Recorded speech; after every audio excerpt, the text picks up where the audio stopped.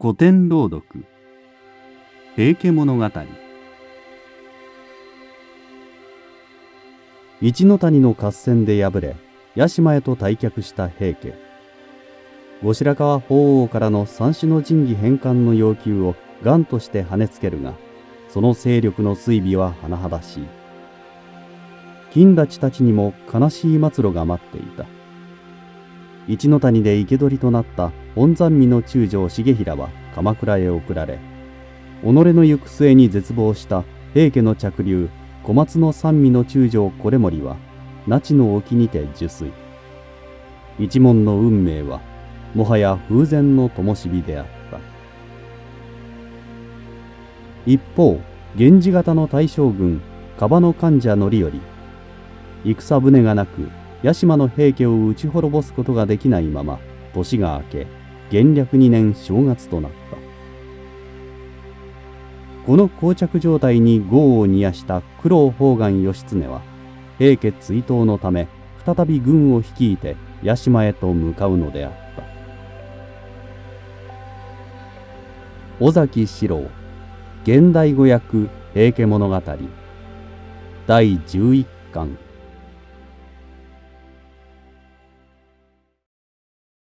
逆ろ元暦2年の正月が来た。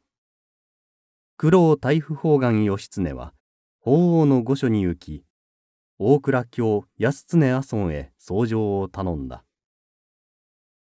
平家一門は神仏からも見放され君にも捨てられて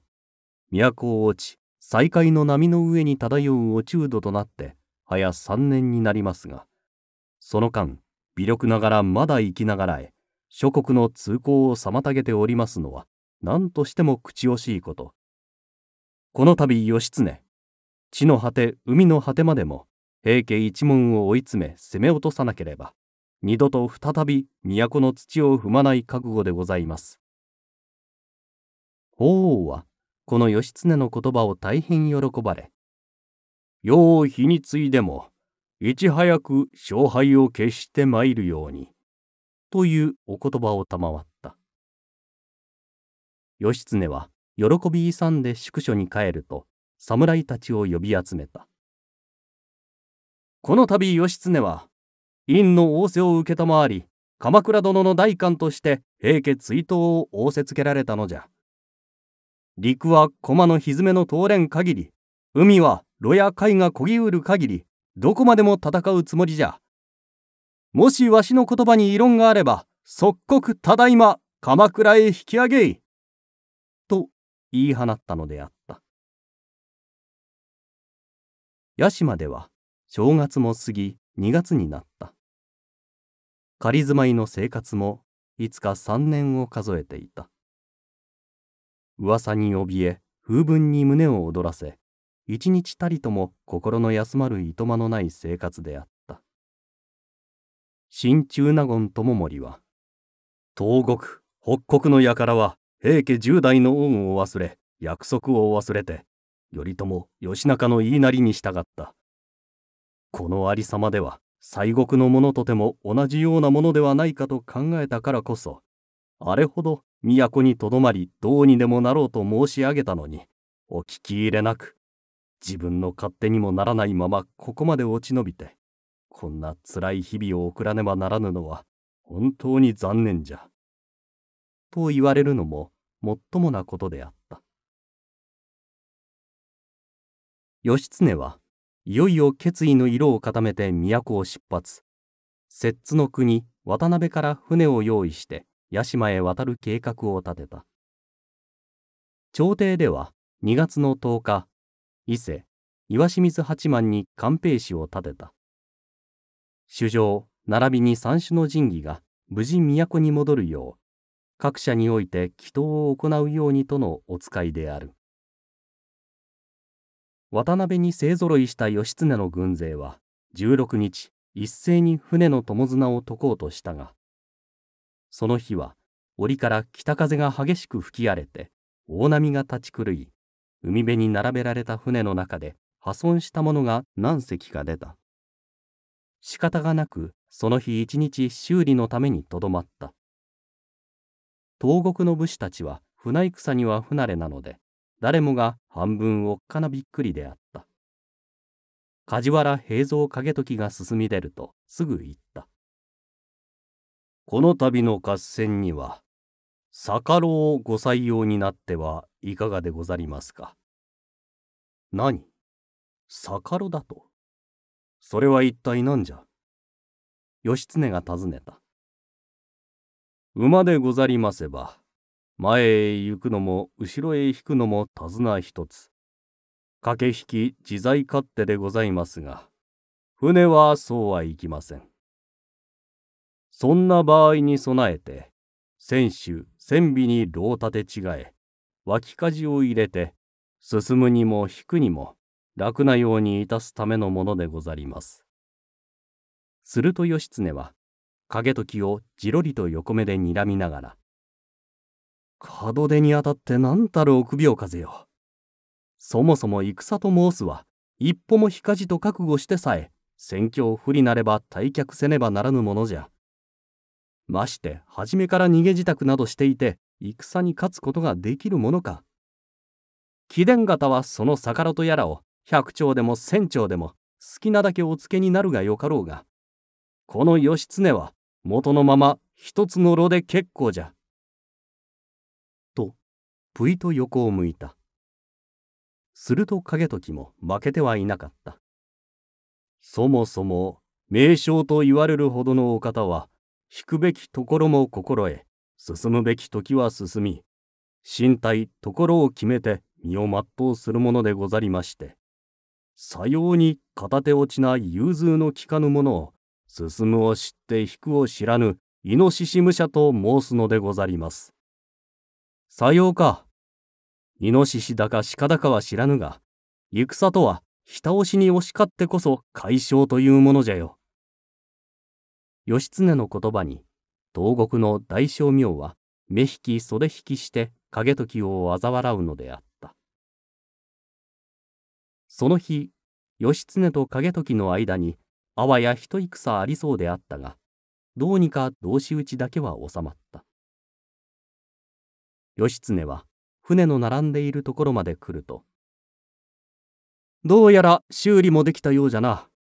まず趣向を用意して一杯祝い酒と行こう。主演の用意を装って、船に米やら武具、馬などまで積み込んだ。さあ、支度ができた。急ぎ船を出せ驚いたのは過去や勘取りたちである順風とは申せこの辺りでこの分では沖はさぞかし吹き荒れておるに違いありませぬちょっとご無理かと存じます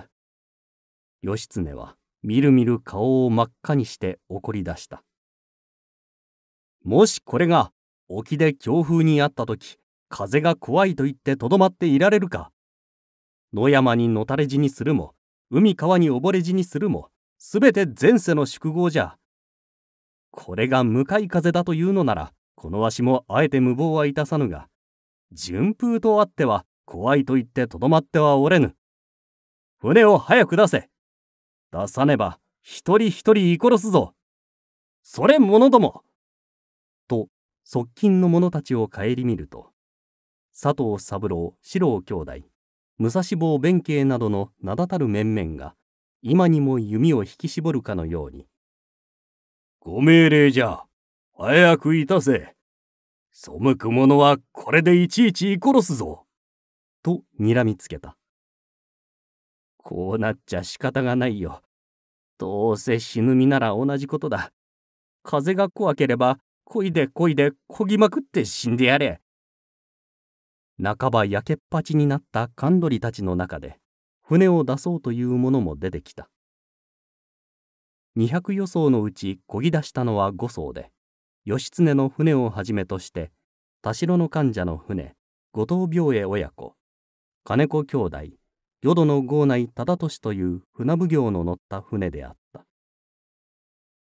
残りは恐ろしいのと景時に気兼ねしたりして出発しようとしなかった。人が行かぬからといって取りやめることもなかろう。普段は用心している敵もまさかこの大風大波ではと油断しているに違いない。そこをつけ込むのじゃ。おのおの方の船に証しをつけると平家方の目にも留まり巣は大勢押し寄せたと警戒されるであろうからこの義経の船を本船として証をつけるからそれを目標に航行せよ。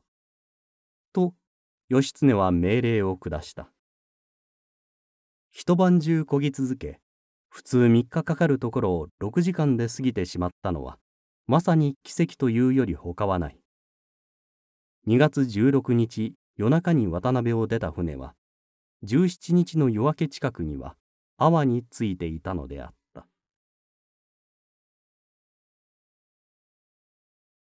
勝浦合戦。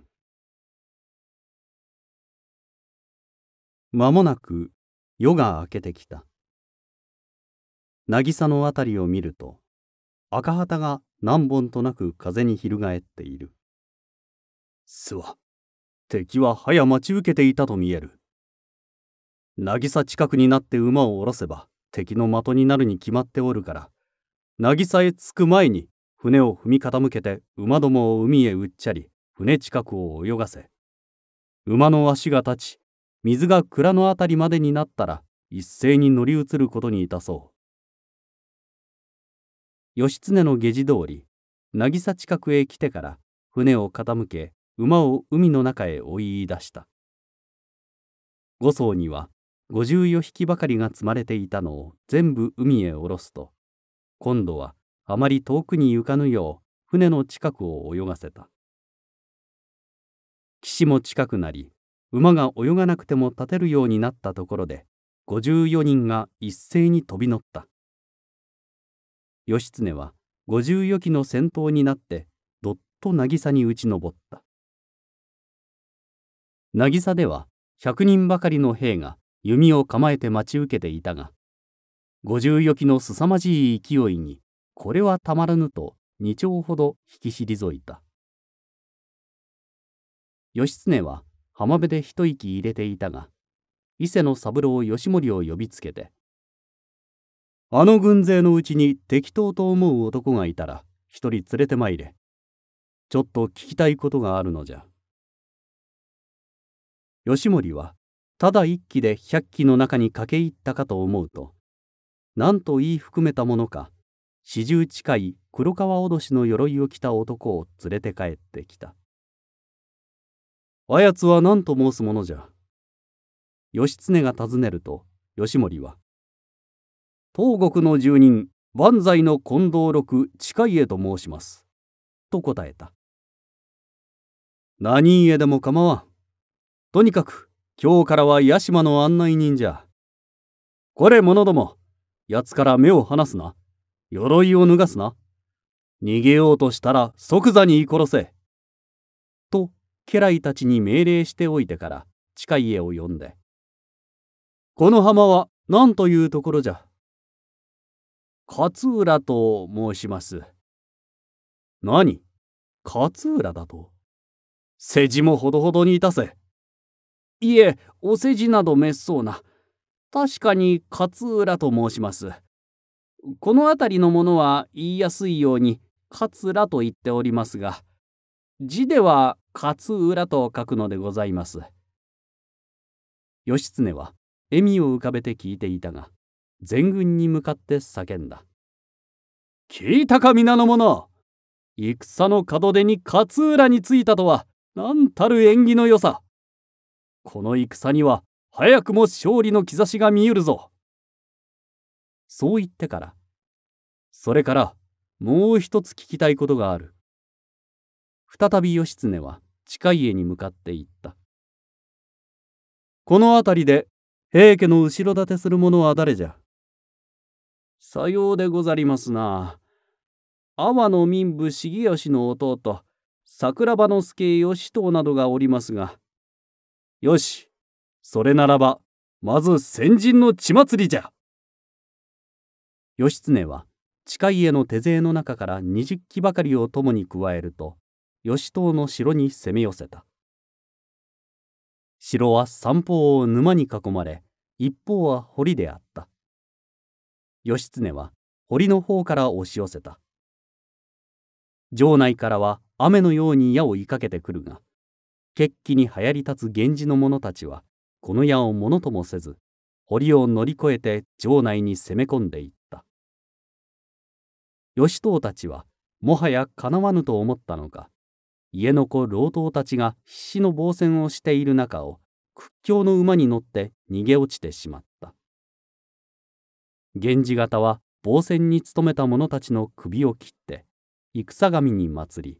時の声を上げて最初の勝利を祝した。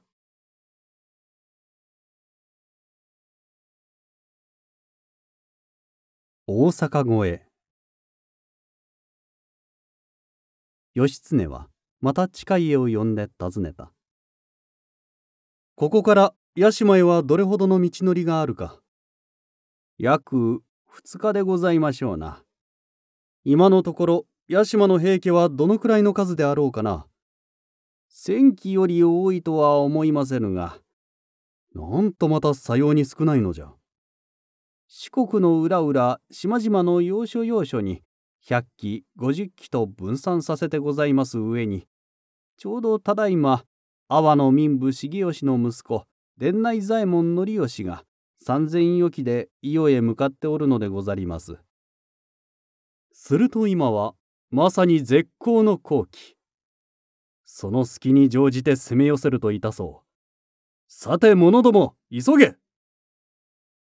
義経は阿波と讃岐の境の大阪越えという山を強行軍で越えて屋島へ向かった。その途中義経たちの一行は手紙を持って山道を急ぐ男に出会った夜のことで顔や姿もはっきりしないせいもあって男はまさか義経勢とは思わず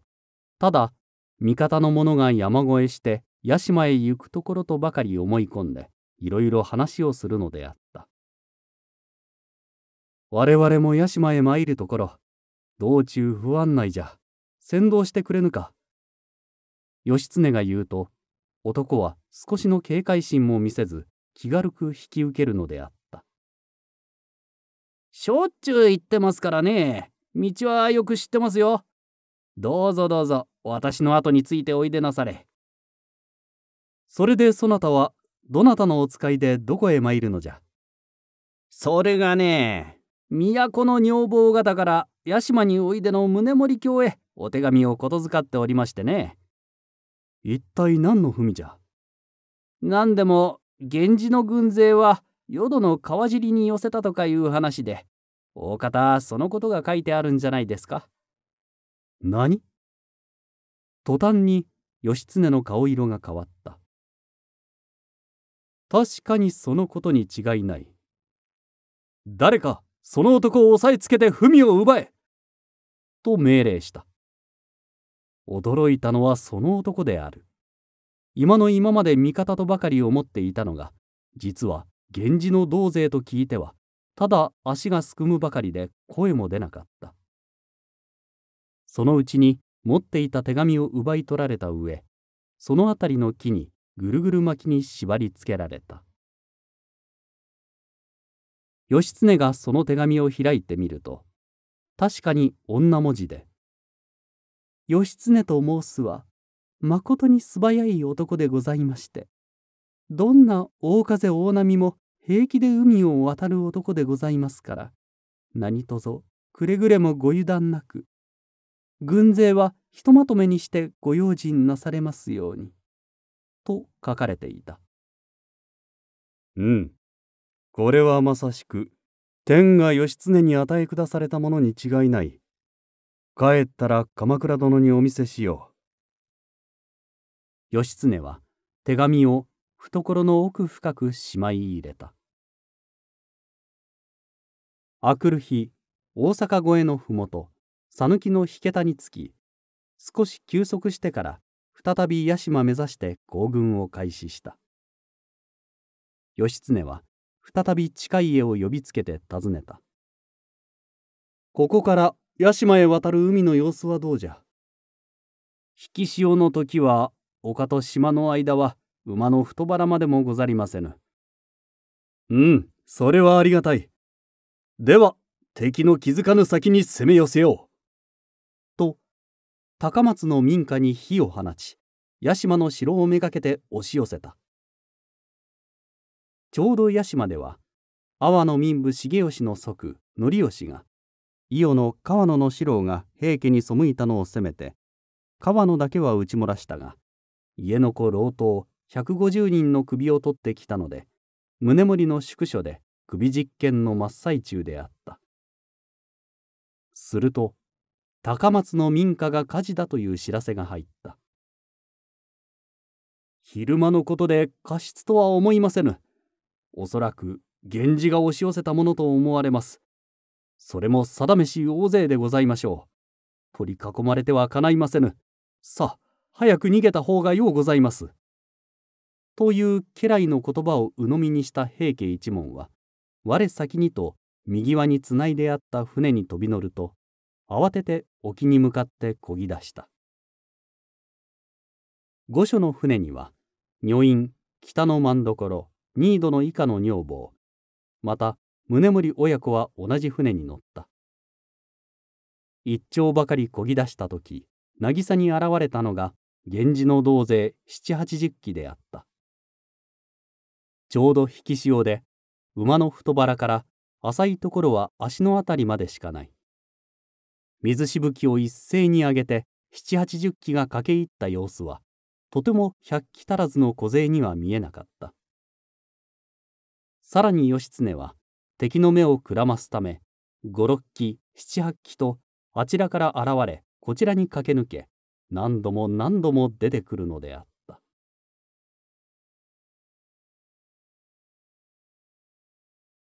嗣信の最後。義経はその日赤字錦のたたれ紫裾子の鎧をつけクワガタ打った兜の尾を締め黄金作りの太刀を履いたあっぱれ大将軍の姿で重藤の弓の真ん中あたりを握りしめ沖の平家に向かって大音上で名乗りを上げた我こそは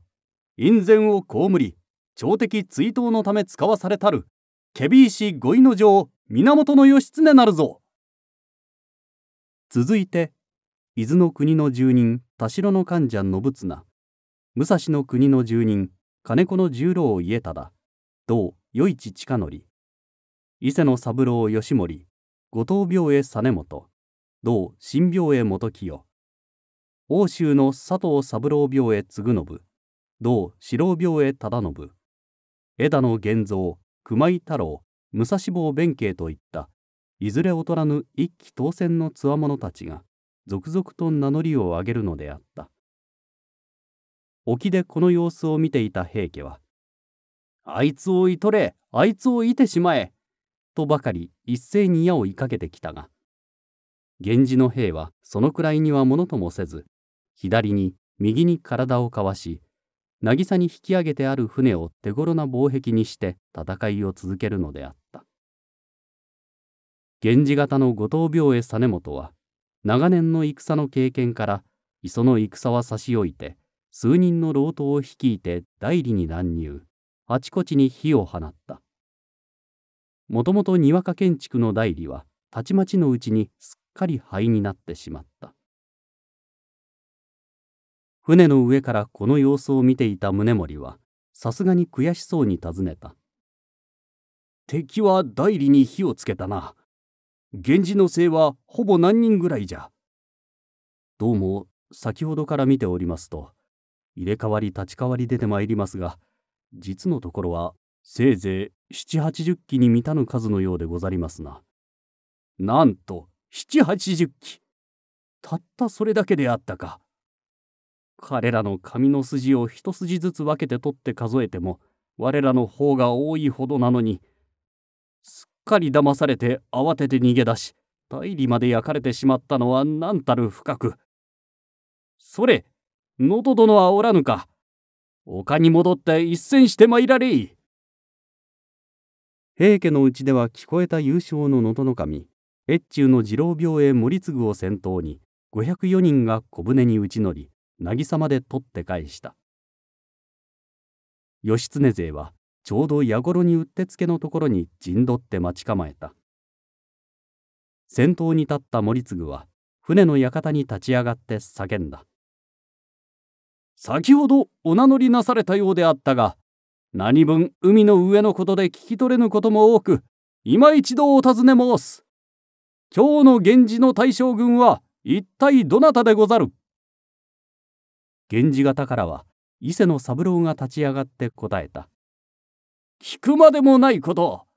清和天皇十代の皇院鎌倉殿のご舎弟九郎太夫宝願殿じゃ。すると森次が再び立ち上がって「なるほど。それでよくわかり申した」その宝願殿と申さるるは平治の合戦に負け父を討たれた後皆仕事なりやがて鞍馬寺の稚児後には金明殿の後にくっついて欧州まで食料を背負うていった小せがれのことであろう。すると吉森が再び立ち上がった。彼の顔は興奮で真っ赤になっていた。まったくよくしゃべるやつじゃ。そういうお前らこそ、砺波山の戦で散々に打ち負かされ、骨敷きして都へ登ったのではなかったか。森次も負けてはいなかった。そういうご変こそ、伊勢の国、鈴鹿の山賊であったものだろう。霧のない言い合いに、源氏型の金子の十郎が進み出た。いつまでつまらないざれ言を言っておるのじゃ。そんな空言の雑言なら誰だって言える。それ今度は去年の一の谷の戦でよくよくご承知済みの武蔵相模の若武者の手並みをお見せしよう。家忠が言い終わらないうちに弟の与一親則が弓に矢をつがえてひょうといると矢はたちまち森次の鎧の胸板の裏にまで突き刺さった。両軍はこの一死でしんと静まり返った。則常は平家第一と言われるほどの弓の名人であり豪遊をもって知られた男であったが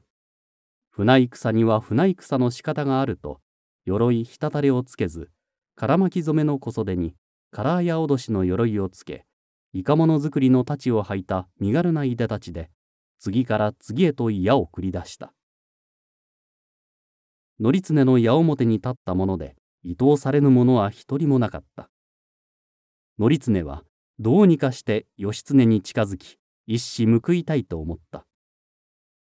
しかし源氏方もそこは心得たもので伊勢の三郎武蔵坊弁慶といった義経の側近が馬の頭を一面に立て並べて義経の矢面に立ちふさがっていた「そこどけ矢面の増票ども!」則常はそう叫ぶと矢継ぎ早に鎧武者十騎ばかりを攻め落とした。中でも先頭を切って進んでいた三郎病へ継信は左の肩から右の脇腹へ射抜かれたちまち馬から転がり落ちた。則常の近所で菊王丸という大力の若者が継信の首を取ろうと駆け寄ってきたところ弟の忠信は兄の首は渡さじと菊王丸めがけて矢をひょうと放った。菊王丸は草釣りの外れを向こう側まで移動されて四つん這いになった。則常は左手に弓を持ったまま右手で菊王丸をつかむと船へからりと投げ入れたが深手であったからすぐ息が絶えた。菊王丸は元越前の三味道盛教に仕えていたが道盛討ち死に後弟の能登守に仕えて可愛がられていた。則常は菊王丸が撃たれてすっかり気力を消耗したのかひとまず船へ引き上げた。義経は継信を陣の後ろに運ばせると急いで馬から飛び降りた。継信はもはや虫の息であったが義経の声でかすかに目を開いた。気分はどうじゃ継信今はもはやこれまでと覚悟いたしております。何か言い残すことはないのか？何もございませんが、ただ、君のご出世のお姿も見ずに死ぬのが心残りでございます。と申して弓やトルミが同じ敵の手にかかって死ぬのは何よりも本望。さらに源平の合戦に欧州の佐藤三郎病へ継ぐのぶ君の御身代わりとなり屋島の磯にて討ち死にと松代までも名を残すとは一生の面目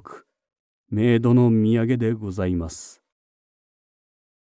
といううちにも次第に言葉が聞き取れなくなってついに息が絶えた。義経はじめ並みいる面々も涙を拭うのであった。この辺りに坊主がいたら連れて参れ。義経の命令で坊主が探し出されてくると今亡くなった手負いの者のために弔いを頼む。その代わりにこれを使わそう。と大福黒と呼ばれた義経愛用の希代の名馬に蔵までつけて僧に与えたのであった。この君のためならば命もいらぬと侍たちは義経の志に深く感激するのであった。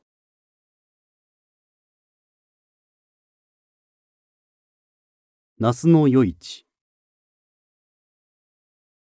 そのうち四国の中でも平家に味方せず源氏の到着を待っていた者があちこちから集まってきて義経の兵力も300機近い数になった。今日はもはや日も暮れてまいった。勝負は明日じゃ。と源氏の姓も戦闘をやめ引き退こうとしている時だった暮れかかる夕も屋の中から一艘のきれいに飾った小舟が右輪に向かって滑るように近づいてくるとぴたりと進むのをやめて船を横向きにした。なんだなんだ？と渚の源氏勢が面白がって見ていると小舟の中から現れたのは紅の袴を履いた十八区とおぼしい美少女で紅の字に日の丸のついた扇を取り出すとそれを船のへりに立て渚に向かって差し招いた。義経は後藤病へ実元を呼んで尋ねた。あれは一体何のつもりじゃ？多分あの扇をいよということでござりましょうがあるいは殿があの美女に見とれているところを誰か手だれの者にいさせようという魂胆かもしれませんな。とにかく扇はいた方がよろしゅうござりましょう。さようか。平家も面白いことを思いつくものだの。さて誰にやらせよう。そなた知らぬか。そうでござりますな。弓の名手は大勢おりますからな。そうそう。下野の国の住人、那須野太郎助高の祖余市宗隆と申す男はいかがでございましょうかな。小男ではございますが、腕は確かなものでございます。証拠があるのか。よく空飛ぶ鳥を射落とす腕を競って勝負いたしますが、3羽に2羽は必ず射落とす男でございます。それならばよかろう。探してまいれ。義経に呼びつけられた与一は、まだ二十歳そこそこの若者で、赤字錦をあしらった滴りに、萌木おどしの鎧を着用。二十四刺した切符の矢を追い薄切り符に鷹の葉割り合わせて作り鹿の角を使ったかぶら矢を差し添えていた。重藤の弓を脇にたばさんだ型通りのいでたちで義経の前にかしこまった「よう宗隆そなたの名はよく存じておるぞ。どうじゃ？あそこに見ゆる扇の真ん中をいて敵に見物させてやろうと思うのじゃやってみる気はないか。与一はしばらく考えていたが、きっと若々しい顔を上げた。なかなか難しいことゆえ、万一にも潜んじることがあるかもしれませぬ。その時には源氏方の名にも関わりましょう。どなたか確かにいる者にご命令ください。義経はこの言葉を聞くと、さっと怒りの色を表に表した。鎌倉を立って西国に参った者は義経の命に背くことは許されぬ。さもなくば、とっとと鎌倉に帰れそうまで言われては、もはや辞退する術もない。与一は、ご命令とあらば、致し方ござりませぬ。外れた時は仕方ござりませぬ。とにかくやってみることにいたしましょう。そう覚悟を決めると、家紋を掘り付けてある金福林の蔵を置いたたくましい黒馬にまたがると、右輪に向かって静かに乗り出していった。この悠々たる姿に、源氏の者たちもほっとした様子で、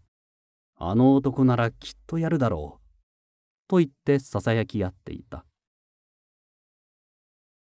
矢頃が少し遠いので、与一は馬を六軒ほど海の中に打ち入れた。しかし、扇まではまだかなりの距離がある。2月18日、午後6時ごろのことである。檻から北風が激しく吹いて、船は上へ下へと揺れるので、それにつれて扇も上下に動揺していた。丘の源氏、海の平家は音一つせず、シーンと静まり返って、この様子を眺めている。与一は、じっと目をつぶった。南無八幡大菩薩、我が小国の日光権現、宇都宮、那須湯前大明神、願わくは、あの扇の真ん中をいさせたまえ。もし依存ずることあらば、生きて再び故郷に帰ることもできませぬ。何とぞお力を与えたまえ。目を開けてみると、心なしか風が少し収まって、扇の位置もさっきよりは安定しているようであった。与一はようやく気を取り直すと、心を落ち着け、かぶら屋をつがい、狙い定めてひょうと放った。こうとことは言いながら名うての号泣。かぶら屋は辺り一面に響くほどの音を立てながら、扇の要の一寸ばかりのところに見事に突き刺さり、扇は空に舞い上がり、キリキリと一つ二つ舞っていたが、さっと海に落ちていった。紅に日の丸を描いた扇が、波に揺られ、浮きつ沈みつしているのを見ながら、平家は船旗を叩き、源氏は海老を叩いて、この見事な弓取りを褒めたたえたのであった。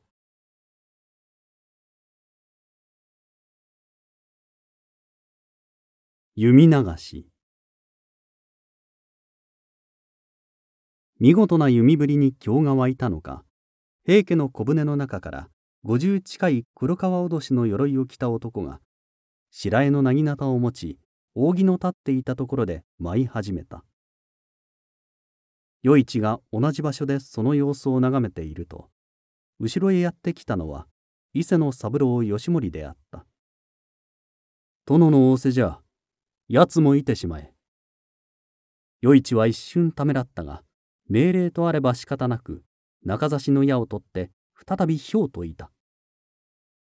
矢は男の胸の真っ只中を貫いて真っ逆さまに船底に転がり落ちた。よくぞいたものよ。いやあまりにも情をわきまえぬ。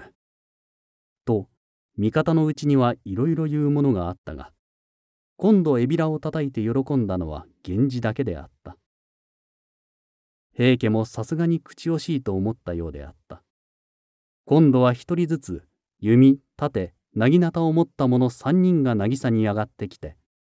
ここへ寄せろ寄せろと源氏型をからかった。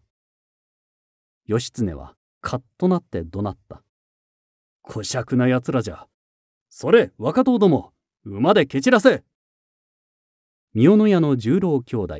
あるいは乳の四郎、木曽の忠治の五機が駆け出した。真っ先に進んだ三尾屋の十郎の馬が矢を射込まれて銅と倒れた。十郎が太刀を抜くと今度は盾の影から大薙刀を持った男が現れてぐるぐると振り回した小太刀と大薙刀では勝負にならぬと十郎が逃げ出すと今度は右手を伸ばして十郎の兜のしころをしきりにつかもうと追っかけてくるのであった。三度もつかみ損なって四度目にようやく捕まえたが、十郎もここで捕らえられてはかなわぬと頭に力を込めて引っ張ったので、鉢付けの板から吹っ切れてしまった。十郎はやっとのことで味方の馬の影に入った。後の四機は遠くから眺めていた。白江のなぎなたを持ったその男もそれ以上は深入りせず、兜のしころを高く差し上げると大音城に呼ばわった。遠からん者は音にも聞け、近くばよって目にも見よ。我こそは上総の悪七病へ過激よじゃ。この大音城に平家の者たちもわっとどよめき立った。それ悪七病へ打たすな過激よに続けと204人が渚に登り盾を重ねて突き並べ源氏勢を差し招いた義経も見過ごしにはできず田代の患者を先頭に後藤病へ金子兄弟に脇を守らせながら総軍84機がわーっと時の声とともに攻め寄せた。このせいに平家方はほとんどが勝ち武者であったから馬に蹴散らされてはかなわないと一山に船に乗り移って退却した。源氏勢は勝ちに乗じて馬の太腹が浸かるあたりまで海に馬を乗り入れて平家の小舟を追い打ちした。平家方は海の上では熊手で義経の兜のしころを引っ掛けようとあちらこちらから熊手を打ちかけてくるので源氏方は太刀や薙刀の先で打ち払いながら戦を続けていた。その時どういう弾みか義経が持っていた弓を海中へ取り落としてしまった。義経はうつ伏せになって弓を拾おうと必死になった。平家方は得たりとばかり弓を引っ掛けようとする者義経の兜めがけて打ちかけようとする者が義経の馬の周りを取り巻いた義経の側近が心配して「殿弓を押捨てなされ押捨てなされ!」と怒鳴ったが義経は知らぬふりをしたままとうとう弓を取り上げると嬉しそうににっこり笑って渚へ引き上げたたとえいかに大切なお弓でもお命には変えられませぬ。大将軍としてはいささか軽率ではございませぬか。と労務者がいさめると義経は、いやいや、弓が惜しいくらいならば、わざわざ取りはせぬ。おじ、為友のごとき弓ならば、わざとでも落とすであろうが、この張りの弱い弓を敵が拾って、源氏の大将軍、源九郎義経にしては、なんたる弱い弓じゃと、あざけられるのが口惜しくて、命にかけても拾い上げたのじゃよ。というのであった。ようやく長かった戦いの一日が暮れて平家の船は沖に源氏は群れ高松の野山に陣を敷いた源氏方は一昨日渡辺の浜を出てから不眠不休の3日間ですっかり疲れ果て横になると同時に前後不覚で眠り込んでしまった。しかし義経と伊勢の三郎だけはよっぴいて目を光らせ敵の来襲に備えていた。その夜平家方は則常を大将として夜討ちをかけようという計画が持ち上がっていた。ところが越中の次郎病へと恵美の次郎が先陣を争っているうちにその夜も虚しく過ぎてしまったのは何としても平家に運がなかったのである。もしあの夜平家が攻め寄せていたらいかに義経義盛が古軍奮戦しても果たして勝ったかどうか危ういものだったからである。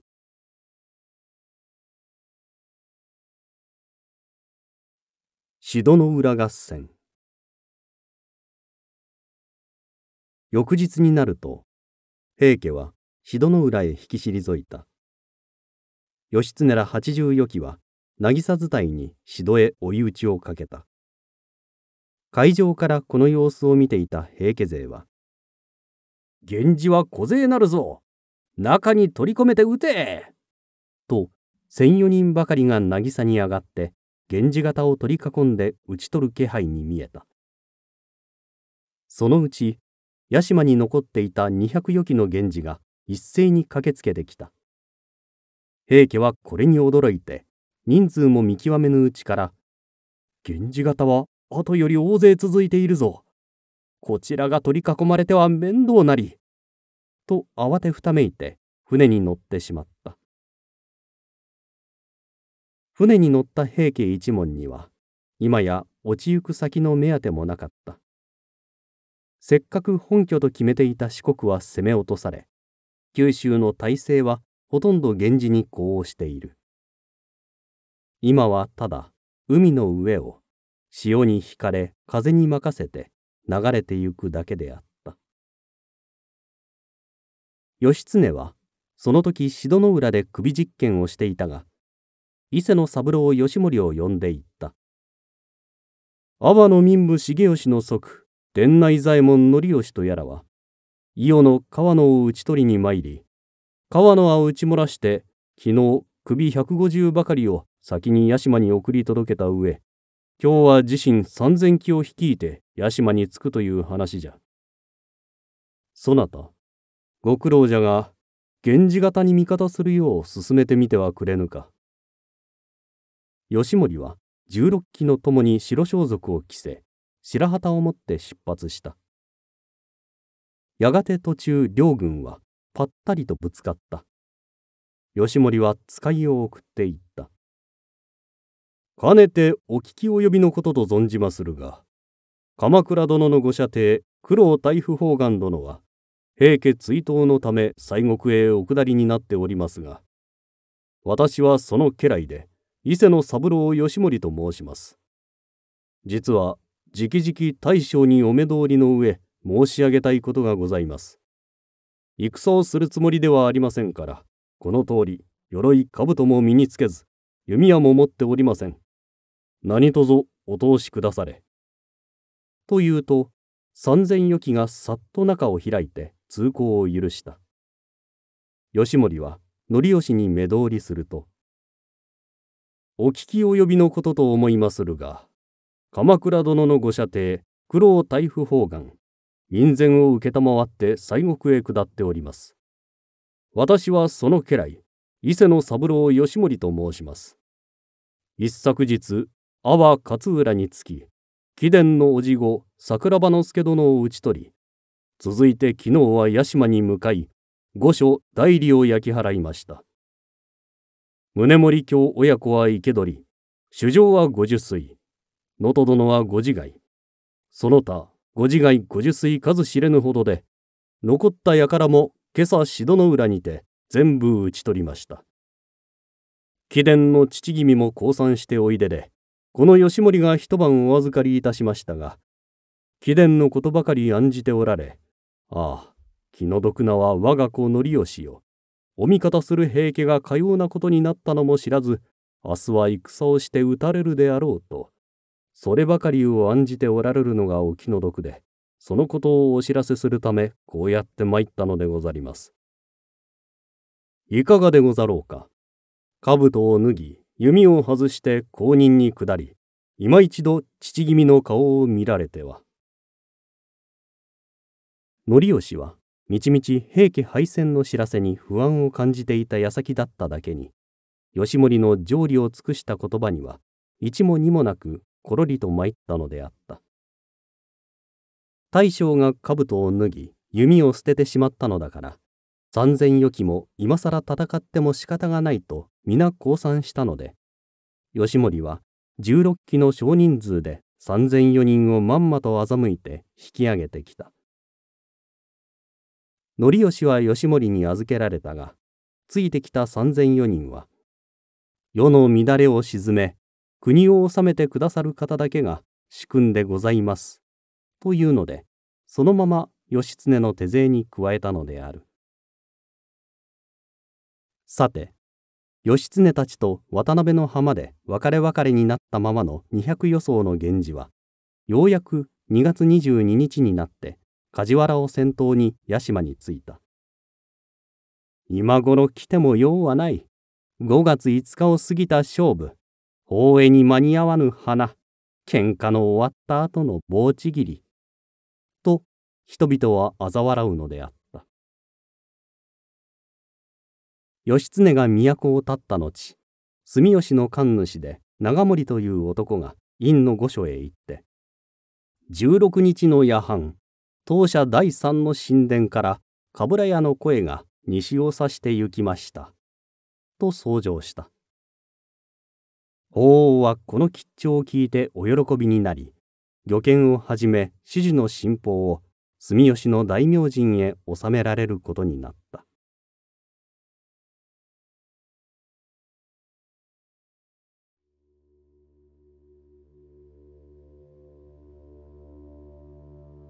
数に劣る源氏義経のせいに敗れ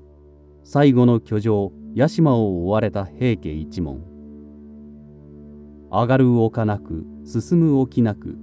波に流され海に漂いついに長門の国赤間ヶ関壇の浦にたどり着いた。平家は引島に源氏は追い津に元暦2年3月24日源平最後の戦いが始まろうとしていた。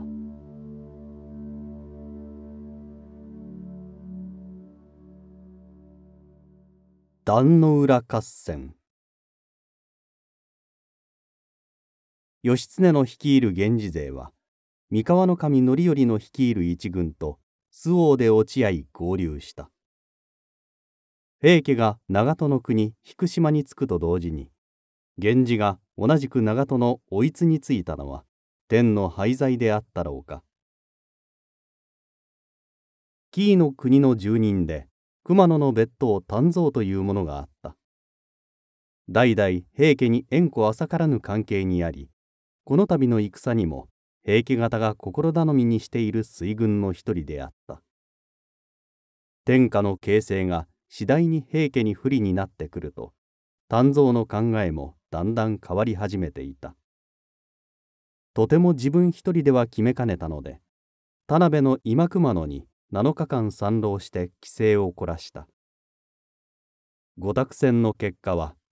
白旗につけとのお告げであった。しかし丹蔵は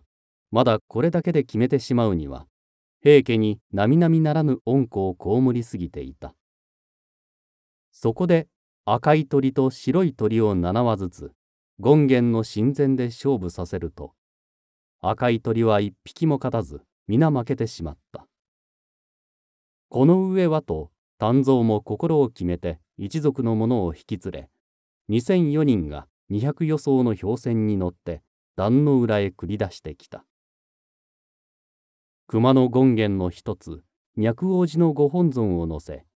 旗の横紙には金剛童子を書いたこの丹蔵の氷船が現れると源氏も平家も共に手を合わせて拝んだ。ところで丹蔵の氷船が良きに反して源氏型についたのには平家も呆れ返っているのだった。伊予の川野の四郎も150艘の船を引き連れ源氏型に加わった。源氏の船は3,000予想平家の船は1,000予想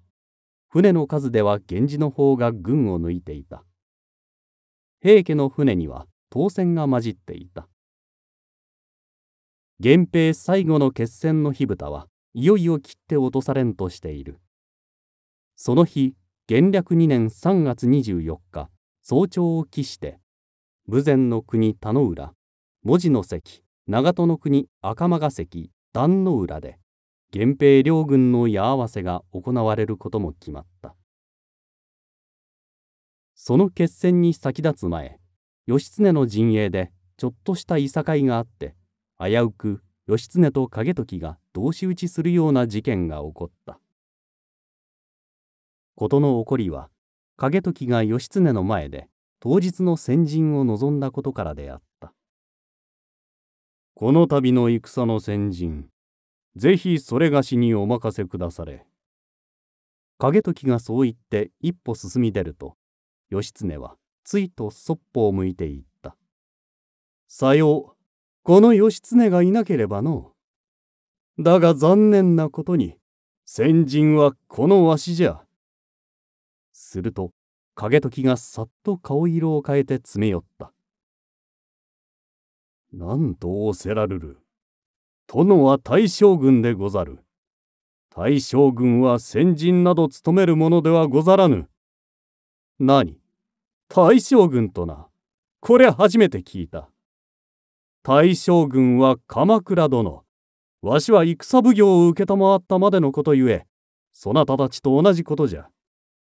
そなたたちと同じなら、先人を承っても差し支えござるまいが。とても先人を与えてはくれそうもない義経の言葉に愛想を尽かした景時は聞こえよがしにつぶやいた。まったくこの殿は生まれつき人の主にはなれぬものと見えるな。景時の言葉を耳にした義経は太刀の塚に手をかけた。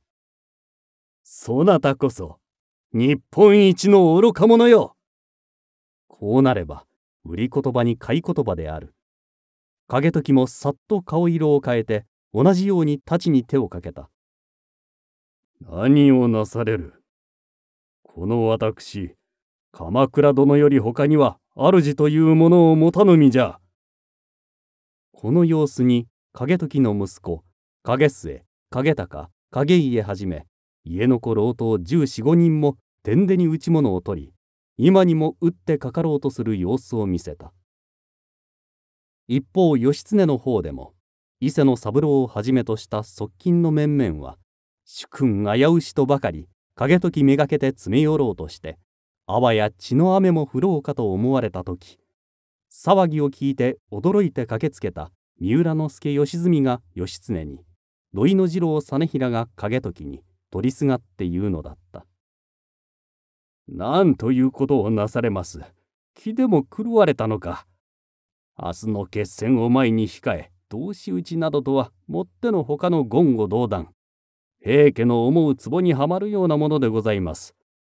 また鎌倉殿がお聞きになられましたら、どんなにご立腹のことか分かりませぬ。何分ご了承、よくお気を鎮めてくだされませ。と、心を込めていさめたので、義経ももっともなことだと怒りを解き太刀から手を離したのでどうにか事なきを得たのである。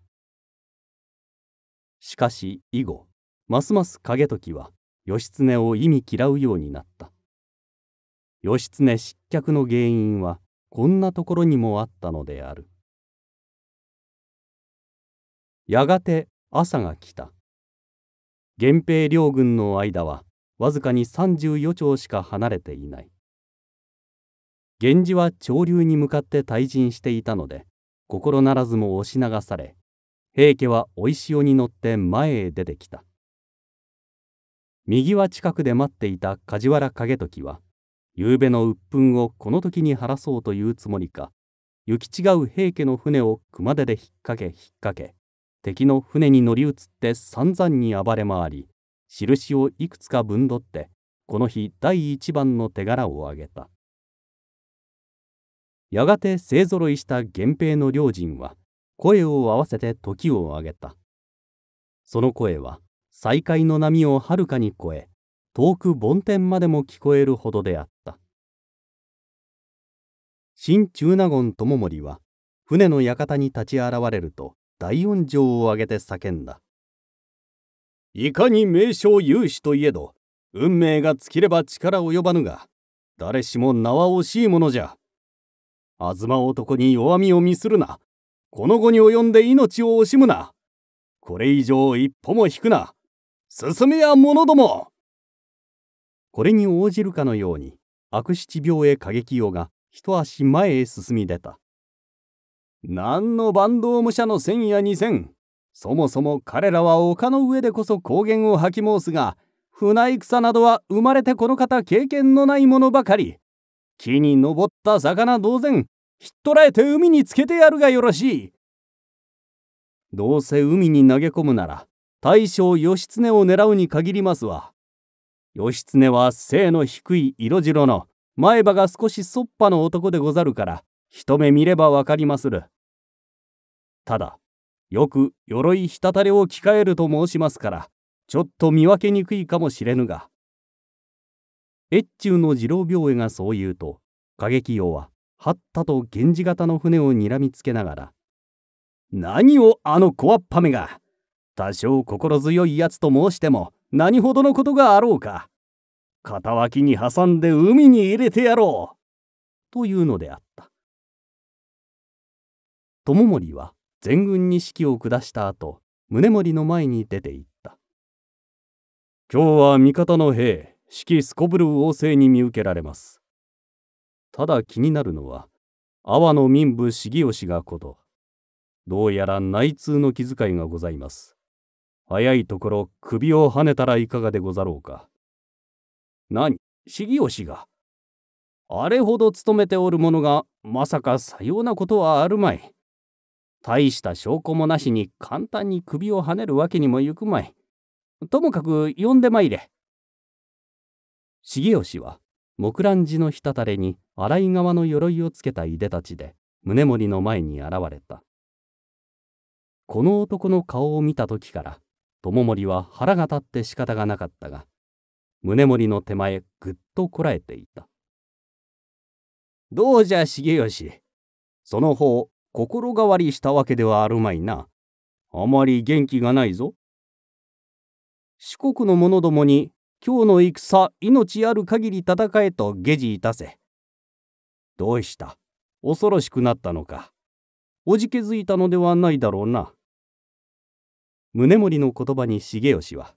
おじけるなどもってのほか。と一言きっぱり言うと、宗盛の前を悠然と下がっていった。この様子の一部始終を見ていた友盛は、太刀の塚をしっかりと握りしめて、命令一家今にも飛びかかるつもりでいたのだが宗盛の方をいくら伺っても知らぬ顔であった。友盛は唇をわなわな震わせながら悔し涙を流すだけであった。この日平家は全軍を見てに分けた。まず山鹿の兵道寺秀藤が500予想で先陣。二陣は松良島の300予想しんがりに平家の金立ち200予想が続いた。山鹿の兵道寺秀藤は九州一の号泣と言われる勇士だったが先陣を承ると504人の精鋭を募り船の友へに立たせて500の矢を一度に源氏に向かって追いかけさせた。真っ先に進んだ義経もこの一斉攻撃に盾や鎧にも矢が当たりいすくめられてさすがに少しひるんでいた。この様子に平家方は攻め鼓をたたいて味方の勝ちじゃと喜びの時を上げた。源氏方の和田の小太郎義盛は船には乗らずに右輪のあたりで馬上から戦の状況を眺めていたがやおら馬を海へ乗り入れると次から次へと息つく暇もなく矢を追いかけた。山頂のうちにあった平家のつわものはことごとく義盛の矢に倒れた。とりわけひときわ遠くまで飛んだ矢に向かって義盛は大声で叫んだ「平家の方々その矢をお返しくだされ。い!」心中納言友盛がこの矢を手に取ってみると白の矢だけに鶴の元白羽と甲の羽とを合わせて剥いだ矢で長さは十三足三つ伏せ。靴巻きから一足ほど置いたところに和田の小太郎義盛と漆で書いてあるのだった。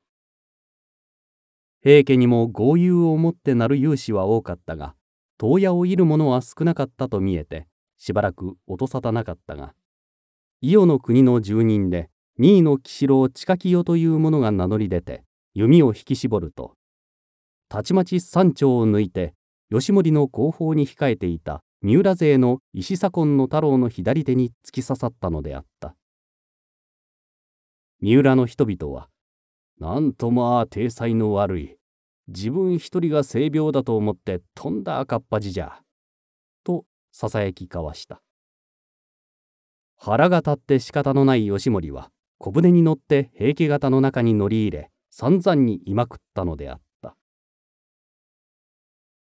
沖の方から義経の乗船に平家方から白矢が飛んできて義盛と同じように「源氏の方々よ矢をお返しくだされい!」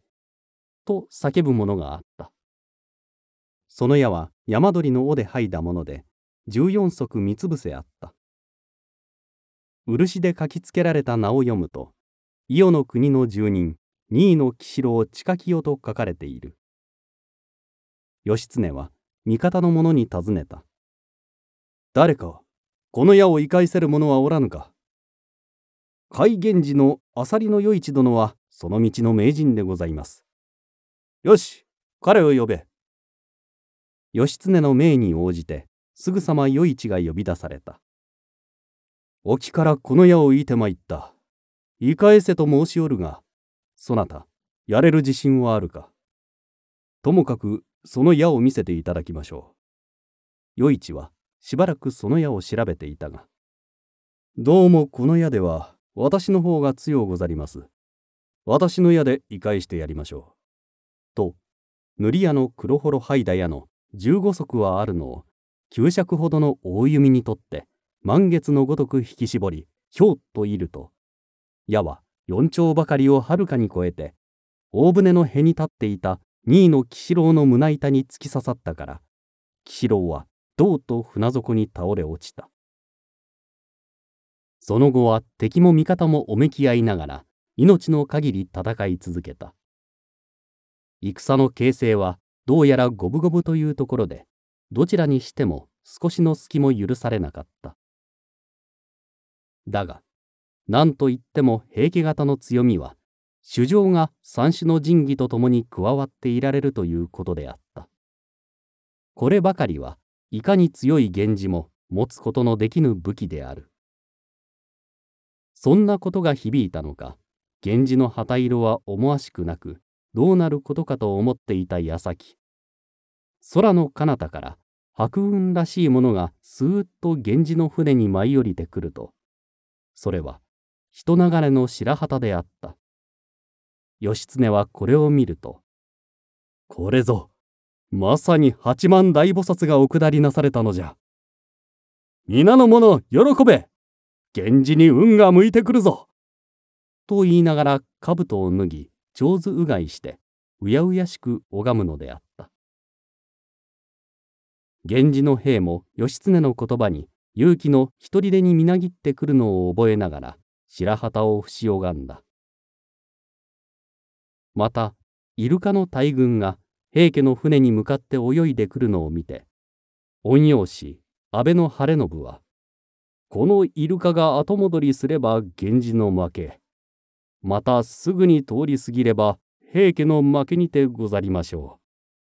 と言っている間にイルカの群れは平家の船の下を通り過ぎた。いよいよご運もつきましたな。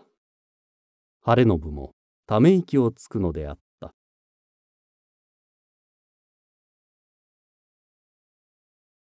選定五十水これらの現象を一転機として次第に平家の旗色が悪くなってきた今まで源平双方の様子を眺めて迷い抜いていた阿波の民部重義はいよいよ決意を固めて源氏に寝返りを打った。彼は平家が西国へ下って以来3年間影になり日向になりして平家に忠勤を尽くしてきたのだが息子の伝内左衛門の城生け捕りの知らせがこの労務者の去就に拍車をかけたのであった。重義裏切りの知らせに地団打踏んで悔しがったのは友森である。何たる深く先ほど切り捨てておけばよかった。といくら後悔しても後の祭りであった。重義の内通は平家の作戦計画が源氏に筒抜けの結果となった。すなわち、名ある侍武者、諸将を氷船に乗せ、造標を当船に乗せていたので源氏方は造標の乗る当船めがけて一斉に矢を追いかけていたのが重吉の内通ですっかりからくりが分かり今度は当選には目もくれず氷船めがけて打ちかかるのであった。源氏の姓剛と見た四国九州からの平家の援軍も戦国までの主を捨て我も我もと源氏につく者が出てきた。今まで命令に服していた主人に向かって弓を引く者太刀を振るう者とまさに戦は乱戦の様子を見せ源平の戦も今日が最後と思われた。源氏の兵たちは平家の船に乗り移り過去勘取りを居殺し切り殺して散々に暴れ回った。味方の敗色古紙と見た心中納言智盛は急いで御所の御座船に飛んだ。最後の時が来たようでございます。見苦しいものを船中に残さぬようにみんな海にお捨てなされ。智盛はそう言うと自ら船の中を走り回って吐いたり拭いたりして船中を清めて回った。女房どもが智盛の姿に「中納言殿戦の様子はいかがでございますか?」と尋ねると智盛はからから笑いながら「王子期珍しい東男がご覧になれます」と言ったので女房たちは「この時にそんなご冗談などをおっしゃるとは」と天でに顔色を変えて騒ぎ立てた。新殿は日頃から覚悟のこととて少しも乱れる色もなく鈍色の二つ絹に練りばかまをそば高く挟み神事を脇に宝剣を腰に刺し主情をお抱きして船端まで静かに歩み出された女の身だからとて敵の手にかかりとうない主情のお供をいたすつもり同じ志の者は私の後よりお続きなさい。と言うと、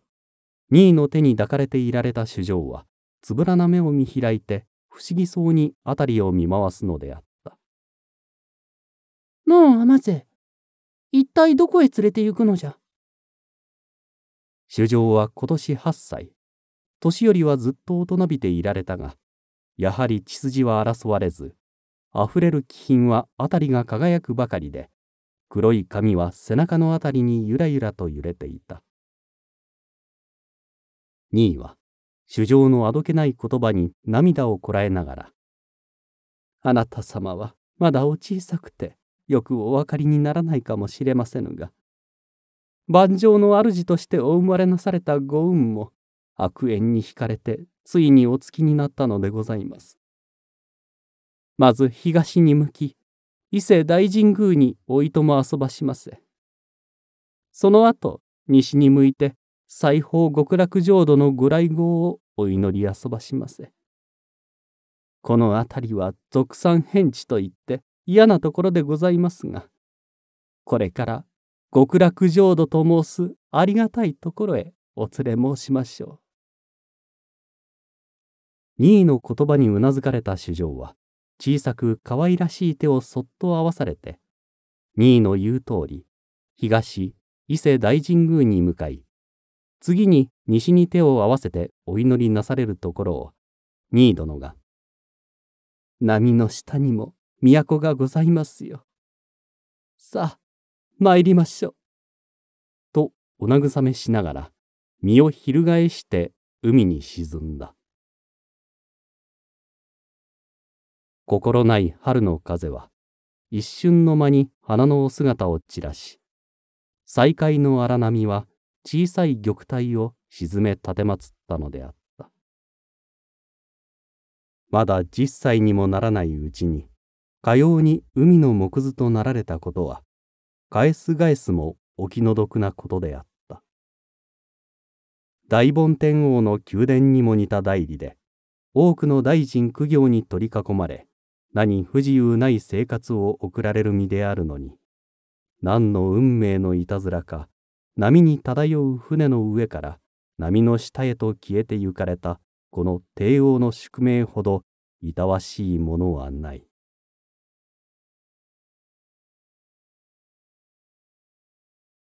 能登殿の最後建礼門院は主上のご受水を見届けると今はこれまでと覚悟してすずりと温弱を左右の懐に入れるとそのまま海に身を躍らせたこれを見た源氏の侍渡辺の源吾馬之丞が小舟をこぎ寄せると門院の髪を熊手に引っ掛けて引き上げた女房たちは驚いて天でに、その方は女院ですぞ。無礼な真似は許されませぬぞ。と叫んだので、侍たちは義経にこのことを中心し、急いで御所の船へお移しした。大納言の助の局は、内しどころの心境を入れた唐びつを脇に抱え、海へ飛び込もうとするところを、袴の裾を船端につけられて、けつまずいて倒れ、侍たちに取りとどめられた源氏の兵が唐びつの錠をねじ切って蓋を開けようとすると目がクラクラとして倒れたその時すでに生け捕りになっていた兵大納言時忠は「もったいなくもないしどころじゃ凡夫の見るものではないぞよ」と怒鳴ったので侍たちも改めて恐れおののいた。平中納言則盛首里の大部常盛の兄弟と小松の三味の中将助盛と少々有盛いとこの様の神幸盛の三人も手を取り合って海に沈んだ。次々に一門の人々が受水する中にあって宗盛親子だけはまだ未練たっぷりに船端に立って四方を見回していた。平家の侍の心ある者があまりみっともないので傍らを駆け抜けるふりをして宗盛を海に突き飛ばした。息子の清宗も父が飛び込んだので慌てて自分も海に飛び込んだ。他の人々は鎧の上に重いものを持って海に入ったから二度と浮かばなかったがもともとそんな用意さえしていない宗盛親子は沈みもせずさらに二人とも生まれつき泳ぎが達者な方なのであちらこちらを泳ぎ回っているうちにこれを見つけた伊勢の三郎義盛が熊手にかけてまず清宗を引きずり上げた。宗盛もこの様子を見て進んで引き上げてもらいたそうな様子を見せたのでとうとう親子二人は船の上に引き上げられた。宗盛親子が源氏の船に引き上げられたのを見た宗盛の目のとご飛騨の三郎左衛門景常は主危うしとばかり急いで義盛の船に飛び乗ってきた。我が君を取り立てまつったのはそも何者じゃ？というが早いか太刀を抜き放って義盛をかばおうとした若者の兜を真っ向から打ち割り続く二の太刀で首を切り義盛に迫ってきた。この時隣の船の堀の弥太郎近常が義盛を助けようと景常に向かって矢を放った。矢は景常の内兜に突き刺さった。景常が痛手にひるむところを弥太郎が隣の船から駆けつけて景常に取っ組み上になったところへ弥太郎の家来が駆けつけ景常の鎧の草ずりを引き上げ三度差し通してから首を取った。自分を助けるために駆けつけた目の友が目前に首を打たれるのを見ながら宗盛は黙っていた。平家一門の中でも豪遊をもって知られた能登守頼経は今日を最後と赤字錦のひたたれカラーや脅しの鎧を着日頃愛用の重藤の弓を手にして散々にいまくったのでその凄まじさに源氏の兵も誰一人手が出せず手負い死ぬ者数知れぬほどだった。矢種が尽きると大立ち大なぎなたを左右に持ち当たるを幸い切って切って切りまくったからもう誰も能登守に近寄ろうとせず遠くから見守るばかりであった能登守の獅子奮陣ぶりを見ていた新中納言友盛が使いを送ってやめさせた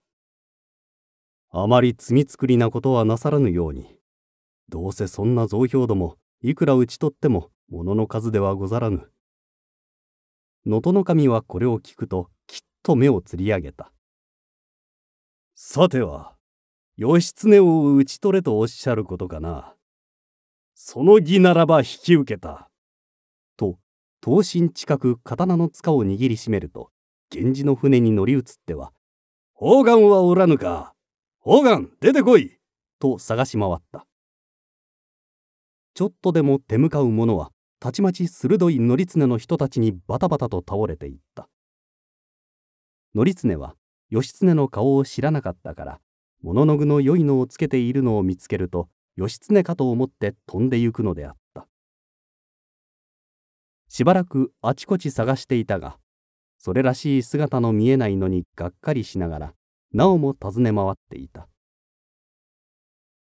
しばらく経って則常はとうとう本物の義経のいる船に飛び乗った。見ると確かに義経である。則常が獲物を探し当てた嬉しさに刀を振り上げ切りかかろうとした時であった。義経の姿がひらりと踊ったと見る間に二畳も離れた隣の船に飛び乗っていた。この早業にはさすがの則常も手が出せなかった。この身さえ軽ければと悔しがっても始まらなかった。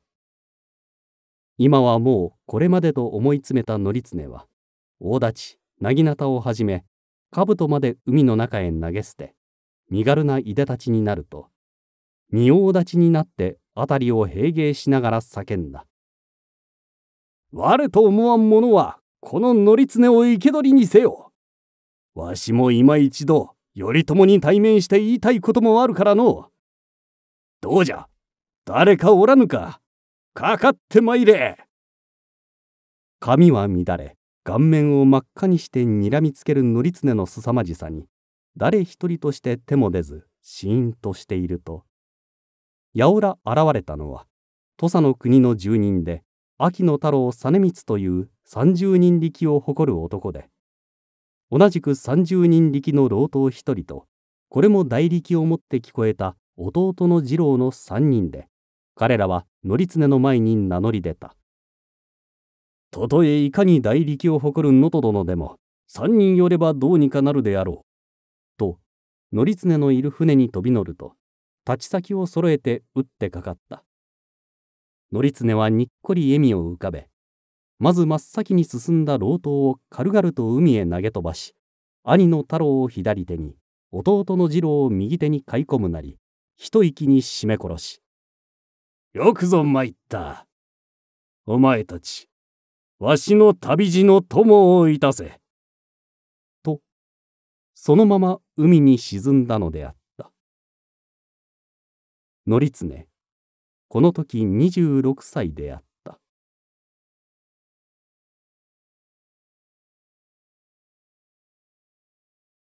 内しどころの都入り。一門の最後のことごとくを見届け終わった友盛は、目のとごの伊賀の平内左衛門家長をそばに呼ぶと、日頃の約束を果たす時が参ったようじゃ。忘れてはおらぬであろうな。と念を押した。家長はにっこり笑ってうなずくと、二両の鎧を持ってきて、友森に着せ、自分も同じように鎧二両を身につけた。さて、参るといたそうか。友森と家長は手を取り合いながら海に沈んだのであった。友森の受水に続いて侍二十数人も後に従った。しかし中には越中の次郎病へ盛り継ぐ上総の五郎病へ忠光悪七病へ過激用飛騨の四郎病へなどといった面々はどこをどうやって落ち延びたものか行方をくらましてしまった。かくて天下の攻防をかけた源平の合戦もここに終わりを告げたのである。春の夕闇が漂い始めた。会場には平家の赤旗のちぎれたのがいくつも漂っていてちょうどもみじを散らしたようであった。乗り手を失った船が何艘も行方知らぬ波に任せて散らばっている。時に元略2年、あまりにも悲しい平家の終末である。この日生け捕りになった人々は、平宗盛、平大納言時忠、その子倉の神信元、同じく讃岐の中将時実、上門の神清宗、兵部の将正明、宗盛の息子で8歳の若君副将、二位の宗図前進、法正寺の修行農園、中納言の立志中海、教授の坊のあじゃり遊園、現代府半眼末貞、摂津の半眼森住、吉内左衛門の城末安、東内左衛門の城信康、阿波の民部親子。以下38人であった。また、生け取られた女房たちは、女院、北の万所、老の御方、大納言の助の局、卒之助、自部教の局以下43人である。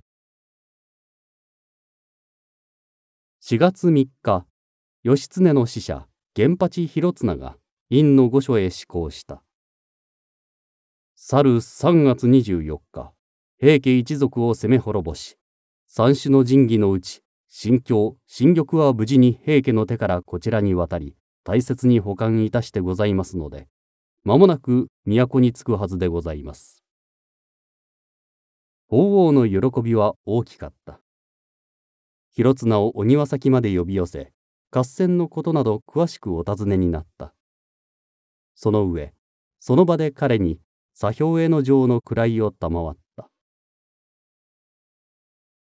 5日になると、法皇は待ちきれなくなったらしい。北面の武士、東半岸信盛に命じて、三種の神器が都へ帰ってくるそうじゃが、無事に着くかどうかが気がかりじゃ。そなた、一つ言って見てきてくれ。と、院のお馬をくださったので、信盛はそのまま馬に乗って西国へ下っていった。義経はじめ平家の捕虜たち一行は都への道を急いでいたが4月14日播磨の国明石の浦に着いた。月の名所として聞こえたところだったから夜も更けるに従い月が差し昇ってくると全く秋の空かと思われるほど美しかった。女房たちは月の美しさに思わず見とれながらあまりにも変わり果てた我が身の姿を振り返らずにはいられなかった。この前ここを通った時は、これほど惨めなことになるとは思いませんでしたのに。あの時は、まだどなたもお元気で、笛や琵琶など持ち出して興じたものでございました。今は皆様波の下、あるいは囚われの身となり果て、今後の行く末も計り知れないというのですから、あまりにも悲しいご運でございます。女房たちは思い出話にまたひとしきり涙を拭い、忍び寝に泣くのであった。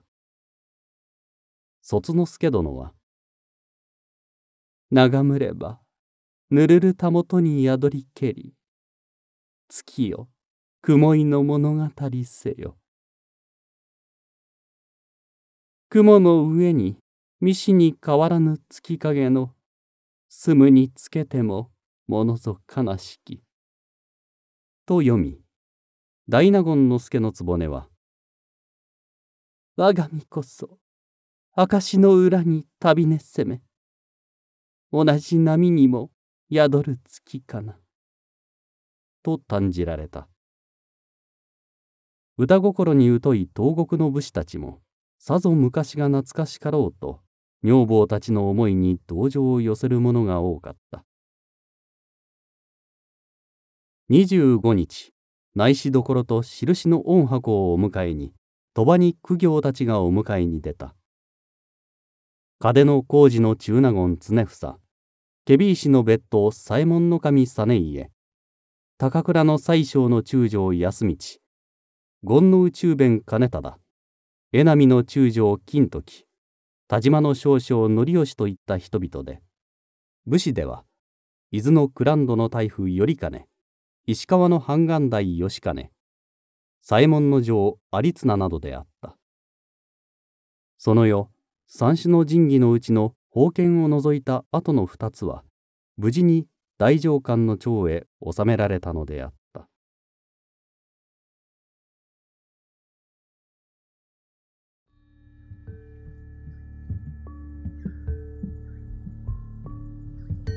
持人王の挙兵から5年。ここに源平の合戦は終わりを告げた。安徳天皇は受水。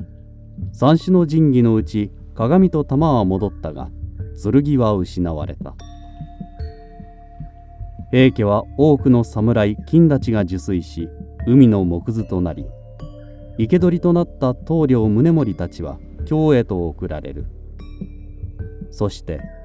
都へ帰った彼らを待っていたのは過酷な運命であった。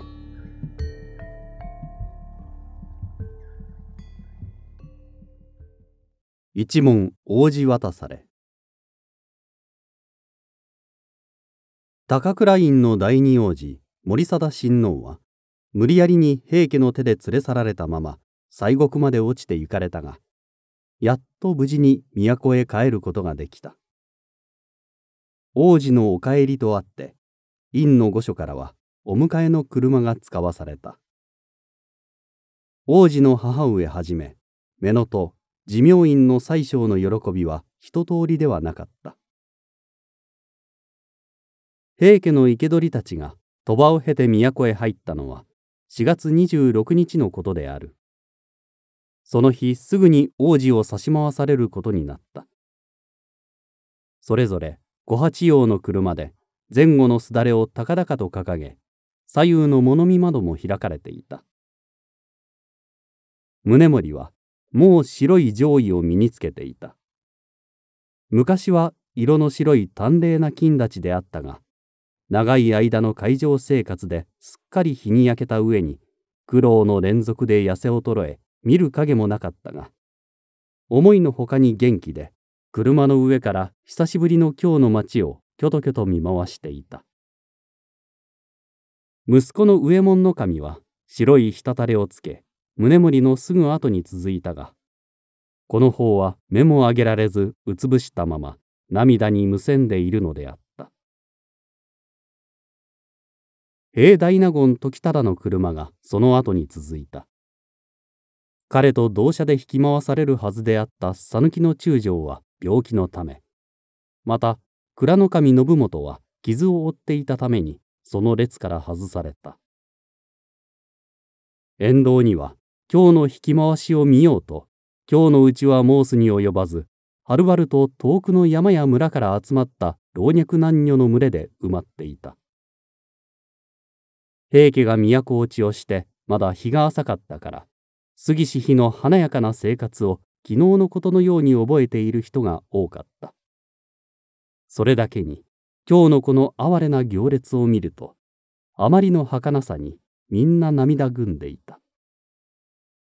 まして長年平家に仕え今は源氏に奉公している者たちは知り合いの誰それが通るごとにそっと差しうつむいて涙を拭う者も多かった。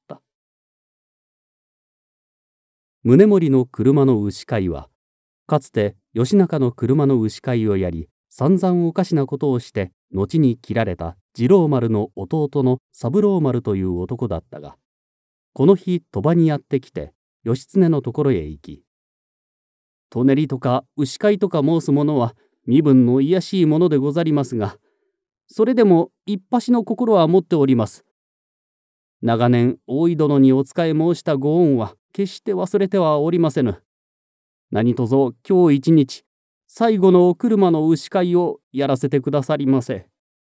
と涙ながらに願い出た。義経もその志に感じて許したので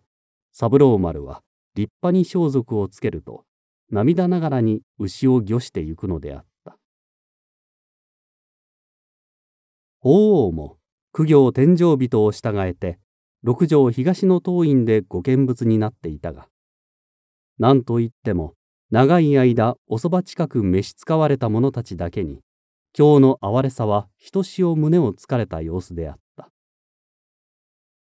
まったく以前はあの人に目をかけられたらとかこの人に一言でも言葉をかけてもらえたらとそんなことまでまるで夢のように思っていたのが人の運命ほどわからぬものはない。都中の人々が一様にそう思うのであった。寿永元年、宗盛が内大臣になった時のその華やかな行列がまざまざと目の前によみがえってくるのだ。その時前区は、クランドの塔近宗以下、天井人16人、火山の院の中納言はじめ12人の苦行がこれに付き従った。何しろ中納言4人、三味の中将3人という豪華な顔ぶれで、左衛門の神であった平時忠ももちろんその中に加わっていた。今はそれらの天井人の代わりに白い滴れを着て蔵の前輪に縛り付けられた24人の侍たちが続いているのであった。六条河原まで行ってから宗盛親子は義経の宿所六条堀川に引き返しそこでひとまず落ち着くことになった。周りを兵たちが厳重に警護した。食事を差し上げたが胸がいっぱいなのであろう。箸をつけようともしない。夜になったが装束も脱がずそのままごろりと横になってしまった。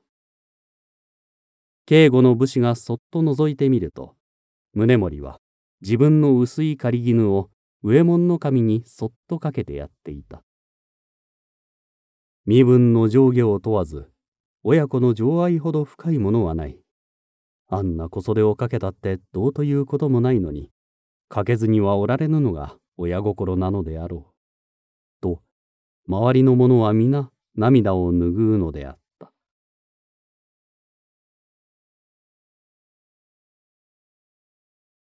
文の沙汰。平大納言時忠は子息の讃岐の中将時実を呼んで不安そうな面持ちで話し出した。実は困ったことがあるのじゃよ。人に見られては我々一同の身に関わる文を義経に取られてしまったのじゃ。これを鎌倉の頼朝殿に見られてしまったらわしたちは愚か。他の者にまで迷惑がかかる。どうしたものであろう。何か良い思案はないものかのう聞くところによりますと、義経はなかなかの女好き。女房の申すことは大抵は聞き入れると申します。幸いまだ縁づかぬ姫たちがおりますから、あのうちの誰かを義経に目合わせ、親しくなってからでもそのことを持ち出させてみたらどうかと思いますが。何も娘たちをあんな勘の低い男のところに読み入らせるために育てたつもりはない。よくよくは女房妃にと念じて教育もしてきたのに、それではあまりに情けない。時忠が未練がましく言った。そんなことを言っている場合ではありませぬ。とにかく誰か一人適当な姫を見つけねばなりませぬ。そう言ってしばらく考えていた時実は今の奥方との間にできた当年17歳になる娘を勧めてみたが時忠は首をうんと振らなかったそこで前の奥方との間にできた21になった姫君に白羽の矢を立てることにした年は少し過ぎていたが容姿端麗で心の優しい娘であったから義経の喜び方もひとしおで繊細の川越の太郎重治の娘を別のところへ移し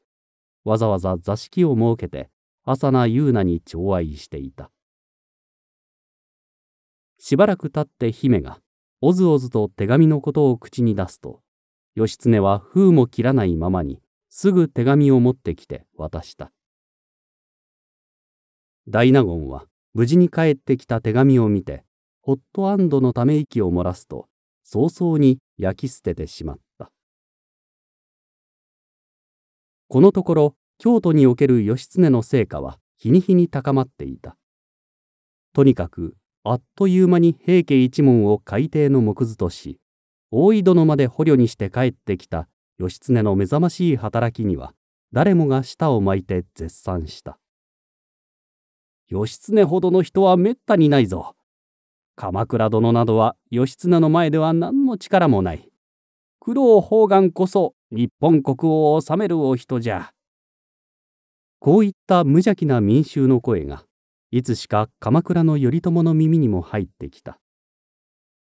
頼朝は次第に義経に疑惑の目を深めていくのである。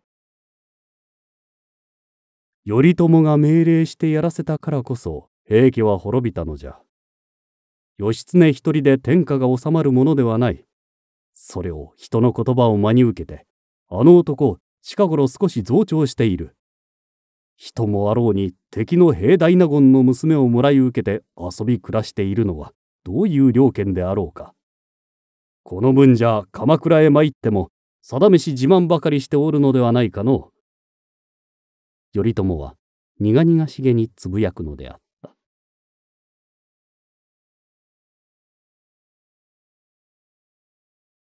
副将の切られ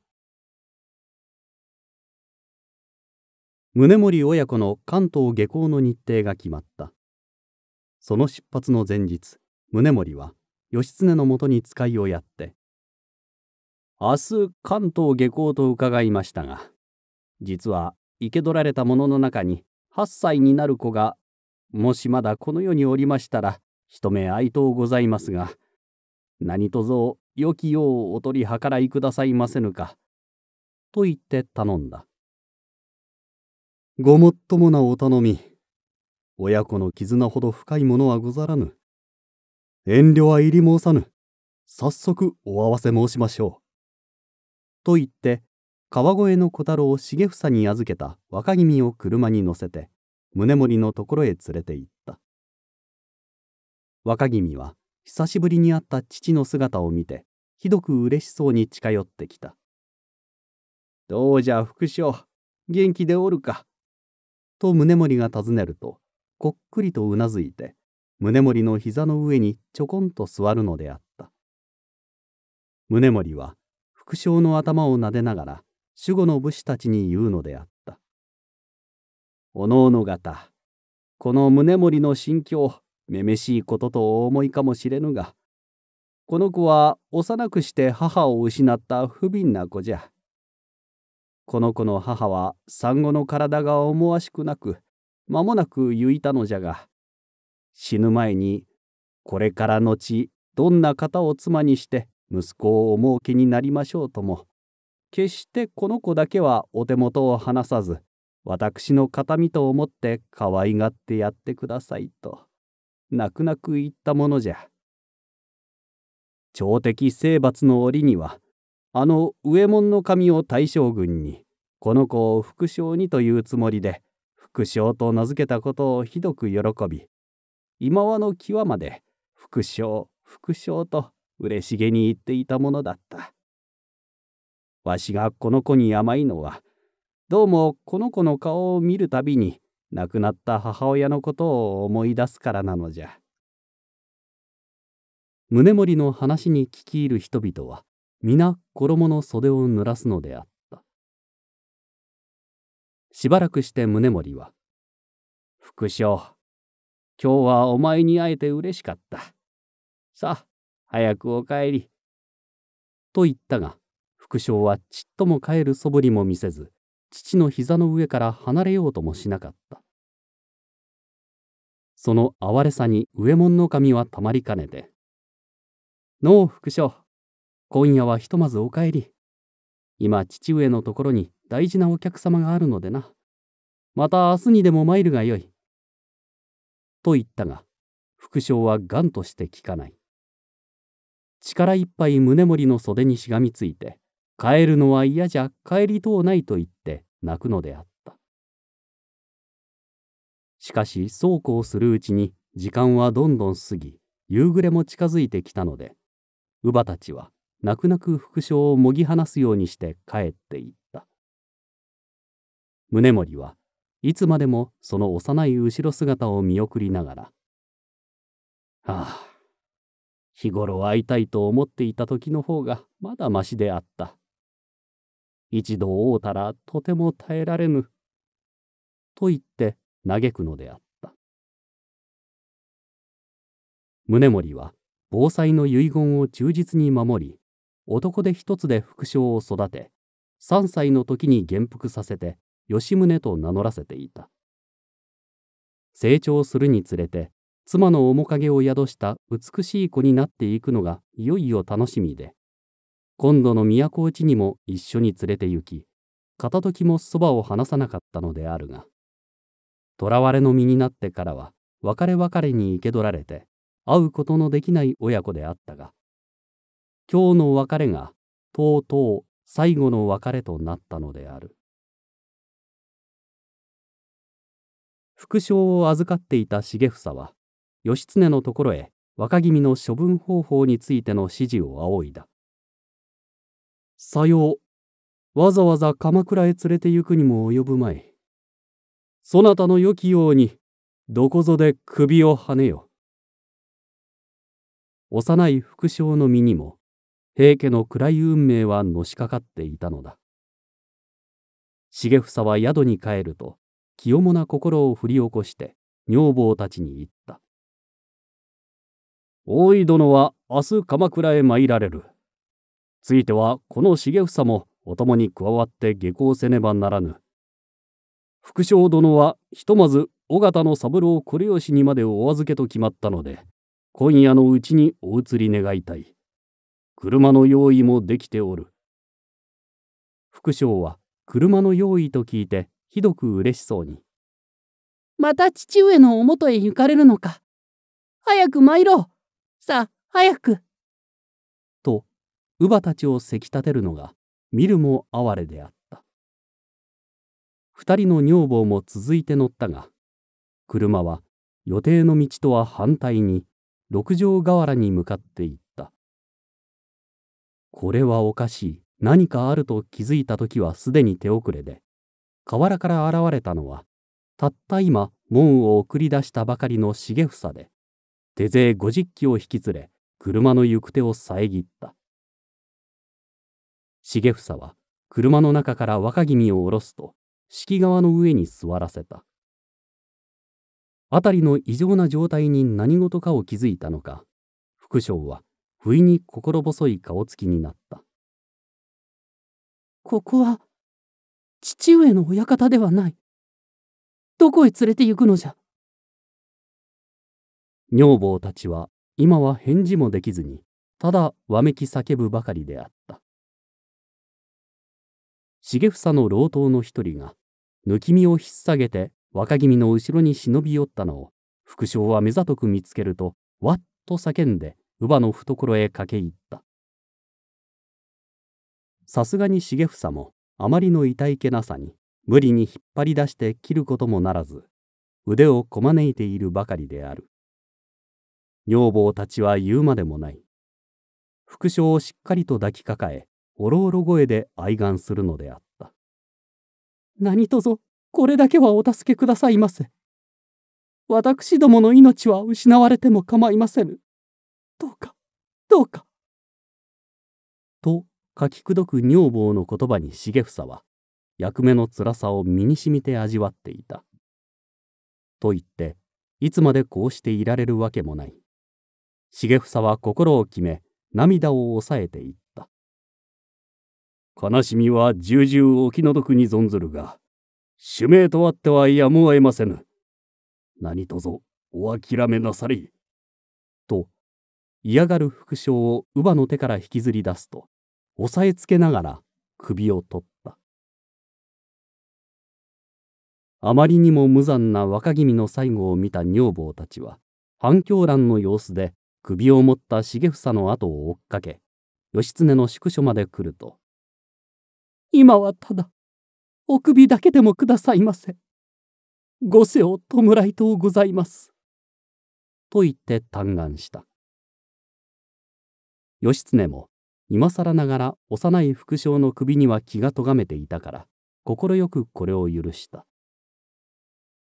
女房たちは首と亡骸を大事に抱えて京の町へ帰っていった。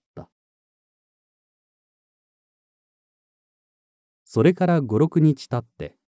桂川に身を投げた二人の女房がいた。一人は副将の乳母で首を懐に。今一人はおそば好きの女房で幼い亡骸を大切に抱いてそれぞれ沈んでいった。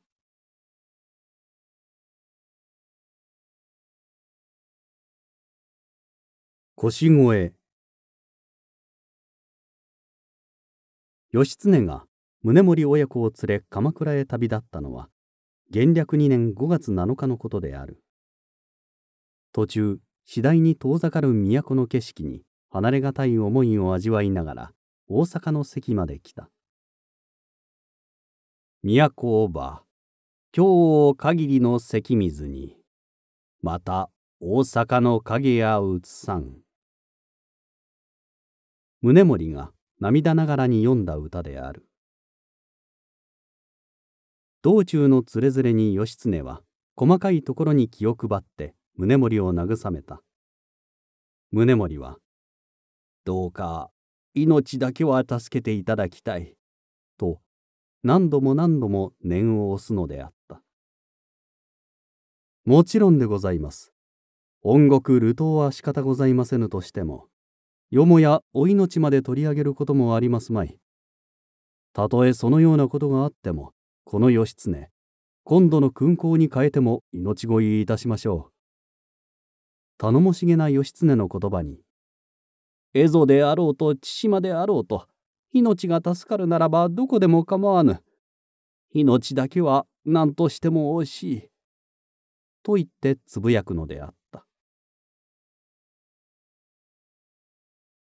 その頃鎌倉では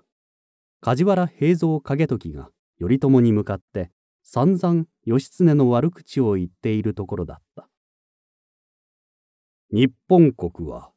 今日鎌倉殿のご威勢に向かう敵なく平定いたしておりますが私の意見をもってすれば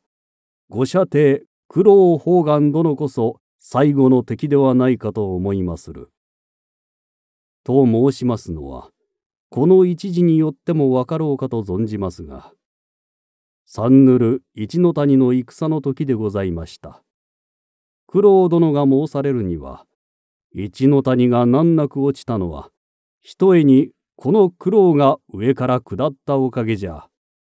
さすれば生け捕り印などは第一番に義経の現山にいるべきなのになぜあの役にも立たぬ？デクノ坊のカバ殿に見せることがあろうか。本山見の中将殿を東方へお渡しできぬとあっては義経の保険に関わる。腕にかけても渡していただこうと。あわや同士討ちも始まりかねないところでしたのを。私と土井の次郎の取り計らいで、本山見の中将は土井が預かることになり、やっと事なきを得たようなこともございました。このように、独りよがりの上に多少激しやすいご性格ゆえ、なかなかご油断はなりませぬ。景時の意地の悪い告げ口に頼朝はうなずきながら答えた。わしもかねがねそのことは案じていたのじゃ。苦労が参るそうじゃから、おのおの用意を怠りなく備えておれ。頼朝の命令で近辺近在の大将名が瞬く間に数千機も集まって頼朝の周りを都へ旗へに取り囲んで守っていた。あいつはすばしこいやつじゃから、畳の下からでも這い出ようとするかもしれぬが、この頼朝はそうはさせまいぞ。頼朝の疑心暗鬼が深まるにつれ、一人北総縁でいたのは景時であった。こういう状態のうちに鎌倉に着いた義経は、暗に相違した冷たい頼朝の仕打ちにまず驚かねばならなかった。金洗沢に関所が設けられ義経はそこで宗盛親子を渡しただけで一歩も鎌倉へ入ることを許されずに腰越に追い返されたのであった。これは一体どうしたこと？何が何だかわしには合点がゆかぬ。去年の春木曽殿を滅ぼして以来平家追悼の命を帯びて西国に向かいついに再会の波の下に滅ぼしてさらに内しどころをはじめ印の御箱を無事に代理にお返ししておまけに大将軍宗盛親子を生け取る手柄を立て久々に兄上にお目にかかろうとここまで参ったものを一度の対面も許さずにお返しになるとはどういうことであろう。むしろどんなにお褒めの言葉を賜るであろうかと楽しみにしていたし多分は九州の平家の残党の追悼を仰せつけられ山陰山陽南海道のどれか一つの省に任ぜられると思っていたのをたった伊予一国の治業のみ仰せつけられ鎌倉に入ることもかなわず追い戻されるとはどう考えてもわからないことだらけじゃ。義経は事の意外さに呆然とするばかりであった。頼朝のもとへは何度も使いをやっていろいろ陳情してみたが景時の残言がよほど聞いたと見えてどんな義経の弁明も一向に耳を貸そうとしないのであった。そこで義経は大江の広元のところへ泣く泣く身の潔白を証明するための書状を書いて送った。これが世に言う腰越の城と言われるものである。源義経恐れながら申し上げ候。この度鎌倉殿の代官として院前を被り西国に赴いて朝敵を打ち滅ぼし候。いかなる勲章も思いのままと思いしに心なき者の残言に遭い恩賞は愚か無実の罪を着せられて虚しく香類を絞るのみにて候長年恩願を拝することかなわずば骨肉血縁の情も次第に薄れゆくものに候か。あるいはまた先祖の因縁と申すべきか。亡き父上の霊最短したまわぬ限り何者かこの悲しみを申し開き候べき。幼少よりこの方一日たりと安堵の思いをいたしたることなく変度恩国を仮の住みかとして土民百姓の頭として細々と成長いたし総来しも一応来福次節到来平家一族追悼の手始めとして義仲を中陸してよりこの方。ある時は我がたる岩石にまたある時は満々たる大会に命を惜しまず働きしもただ亡き父の魂を休んぜんがために候。さらに恋の城に任ぜられたること。当家においてこの上の栄誉はなきものと思い総来しが今の憂いは深く嘆きは切なるものなり神仏のお助けなくばいかでこの宗祖を達せん。それ我が国は深刻なり神は比例を承わず願わくは広大の大慈悲をもって疑いをば晴らし総来もし斜面に預からば石前の余計長く家紋に及び映画は長く子孫に伝わらんものと思い候。さすれば義経年来の終尾を開き一生の安穏を得るものと思い候。ここに義経いまだ言葉に余る心地空へど謹んでお願い申し上げ候。元暦2年6月5日源義経。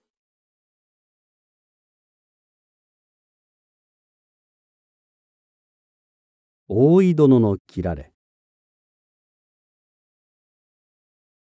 鎌倉へ連れて行かれた宗盛は庭一つ隔てて頼朝と対面した。頼朝は比企の藤四郎義和をもって口上を伝えた。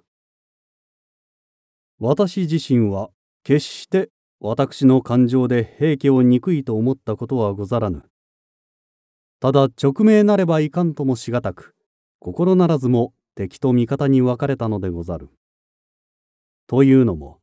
池の前にの除名をお聞き入れくだされた清盛入道あってこそ今この頼朝も生きておれるのじゃ。ただ直命とあっては仕方なく朝敵として追悼いたしましたが今この地に貴殿をお迎え申すことができて何より喜ばしい気持ちでござる。引きの義和がこのことを伝えに宗盛のいる座敷へ来ると驚いたことに宗盛は座から滑り降りて平服しているのであった。その場には東国の大将名をはじめ今日の者あるいは元平家の家人だった者も大勢いたがあまりのみっともない宗盛の仕業に眉を潜めていた。なんと浅ましいことをなさる。平服さえすれば命が助かるとでも思っておられるのであろうか。こういうめめしい人だからこそ西国で囚われてこのような浮き目にも合うのであろう。これも身の不詳のなす技じゃ。という者もいたが、またある者は、虎というものは、野にある時は百獣の王、いかなる獣も恐れおののくほどじゃが、一旦囚われて檻に入れられると、まるで章が変わったようにおとなしくなり、尾を振って食を食おうとするものじゃ。人間も同じことで、いかに強い大将軍も、一旦囚われの身になると心弱く、尾を振るようになるものなのじゃよ。と言って弁護した。ところで、義経の心を込めた書状も、何度かの使いも、頼朝の心を動かすことはできなかった。彼の心に注ぎ込んだ景時の毒のある言葉は、あまりにも影響が大きかったのである。義経は対面を終えた宗盛親子を受け取ると、一別も与えられず、すごすごと都への道をたどるのであった。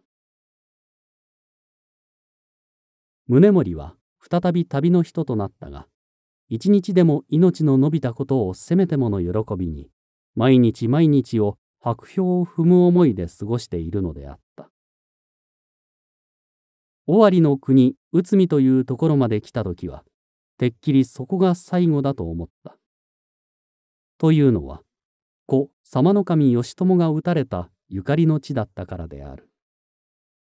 しかしそこを無事に通り過ぎた時は、ひょっとして助かるのではないかと思った。しかし、上門の神にはもっと別のことが分かっていた。熱い盛りだから、首が腐らぬように都近くで切るつもりだろう。とは思ったが、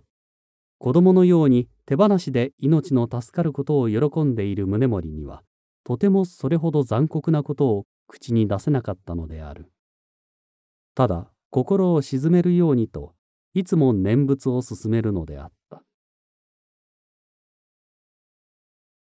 近江の国篠原の宿まで来た時今まで何もかも一緒であった宗盛親子は別々に引き離された。さてはいよいよと心には思ったが今になっても宗盛の心はまだ生への執着に悩み抜いていた。義経の行為で今日から大原の本消防丹号という焦燥が迎え入れられた。宗盛は聖の顔を見るとすがりつくようにして言うのであった。上門の神はどこにおるのであろう。たとえ首ははねられても一つところで死のうと約束していたのに、この世にあるうちに別れなければならぬとはあまりにつらいことじゃ。今日鎌倉と恥をさらし歩いたのも皆この上門の神愛しさのためばかりなのに。さめざめと泣き崩れられてみるとさすがに焦燥も哀れに思ったがと言ってここで弱みを見せてはかえってよくないと考え直し涙を抑えながら心強くも言い切った。この世に生を受けられて以来天使のご外籍の上さらに内大臣という人心の行為を極められることはめったにあることではございませぬが、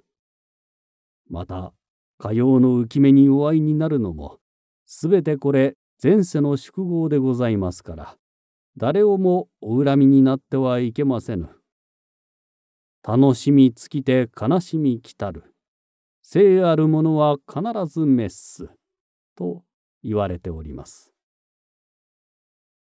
言葉を尽くしてと聞き聞かせたので宗盛もようやく心を決めると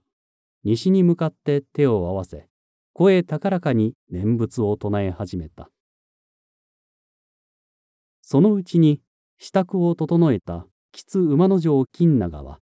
太刀を引っ提げて宗盛の後ろへ回った。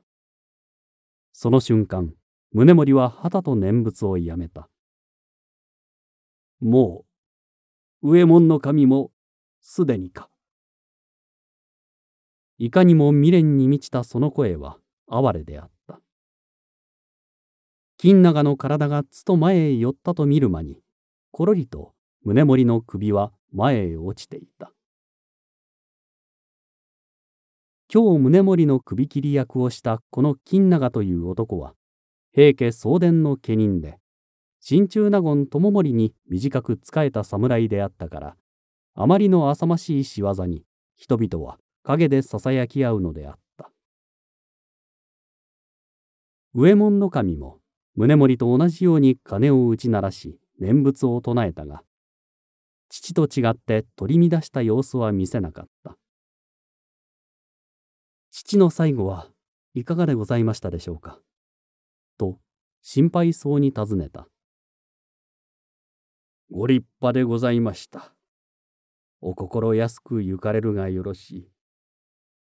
正僧がそう言うと、きらりと目を光らせながら、静かに首を差し伸べた。これで安心いたしました。心置きなくあの世へ参れます。どうぞ。切ってくだされ。上門の神の首を切ったのは、堀の弥太郎近常であった。宗盛親子の亡骸は、宗盛の生前の望み通り、一つ穴に葬られた。宗盛親子の首は、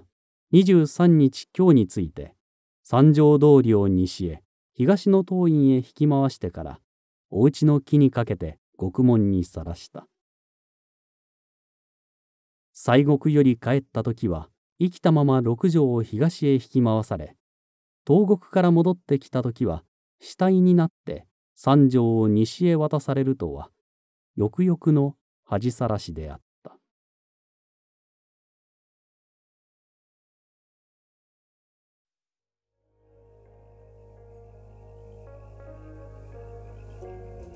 壇の浦の合戦に敗れ24年にわたって栄えた平家一門はついに滅びた。しかし勝者である源氏にも内側に亀裂が生じ始める。源義経平家追悼第一番の功労者であるはずの彼は兄頼朝に疎まれ鎌倉に入ることを許されずついには命を狙う資格まで送り込まれることとなる。次回現代語訳平家物語第12巻お楽しみに。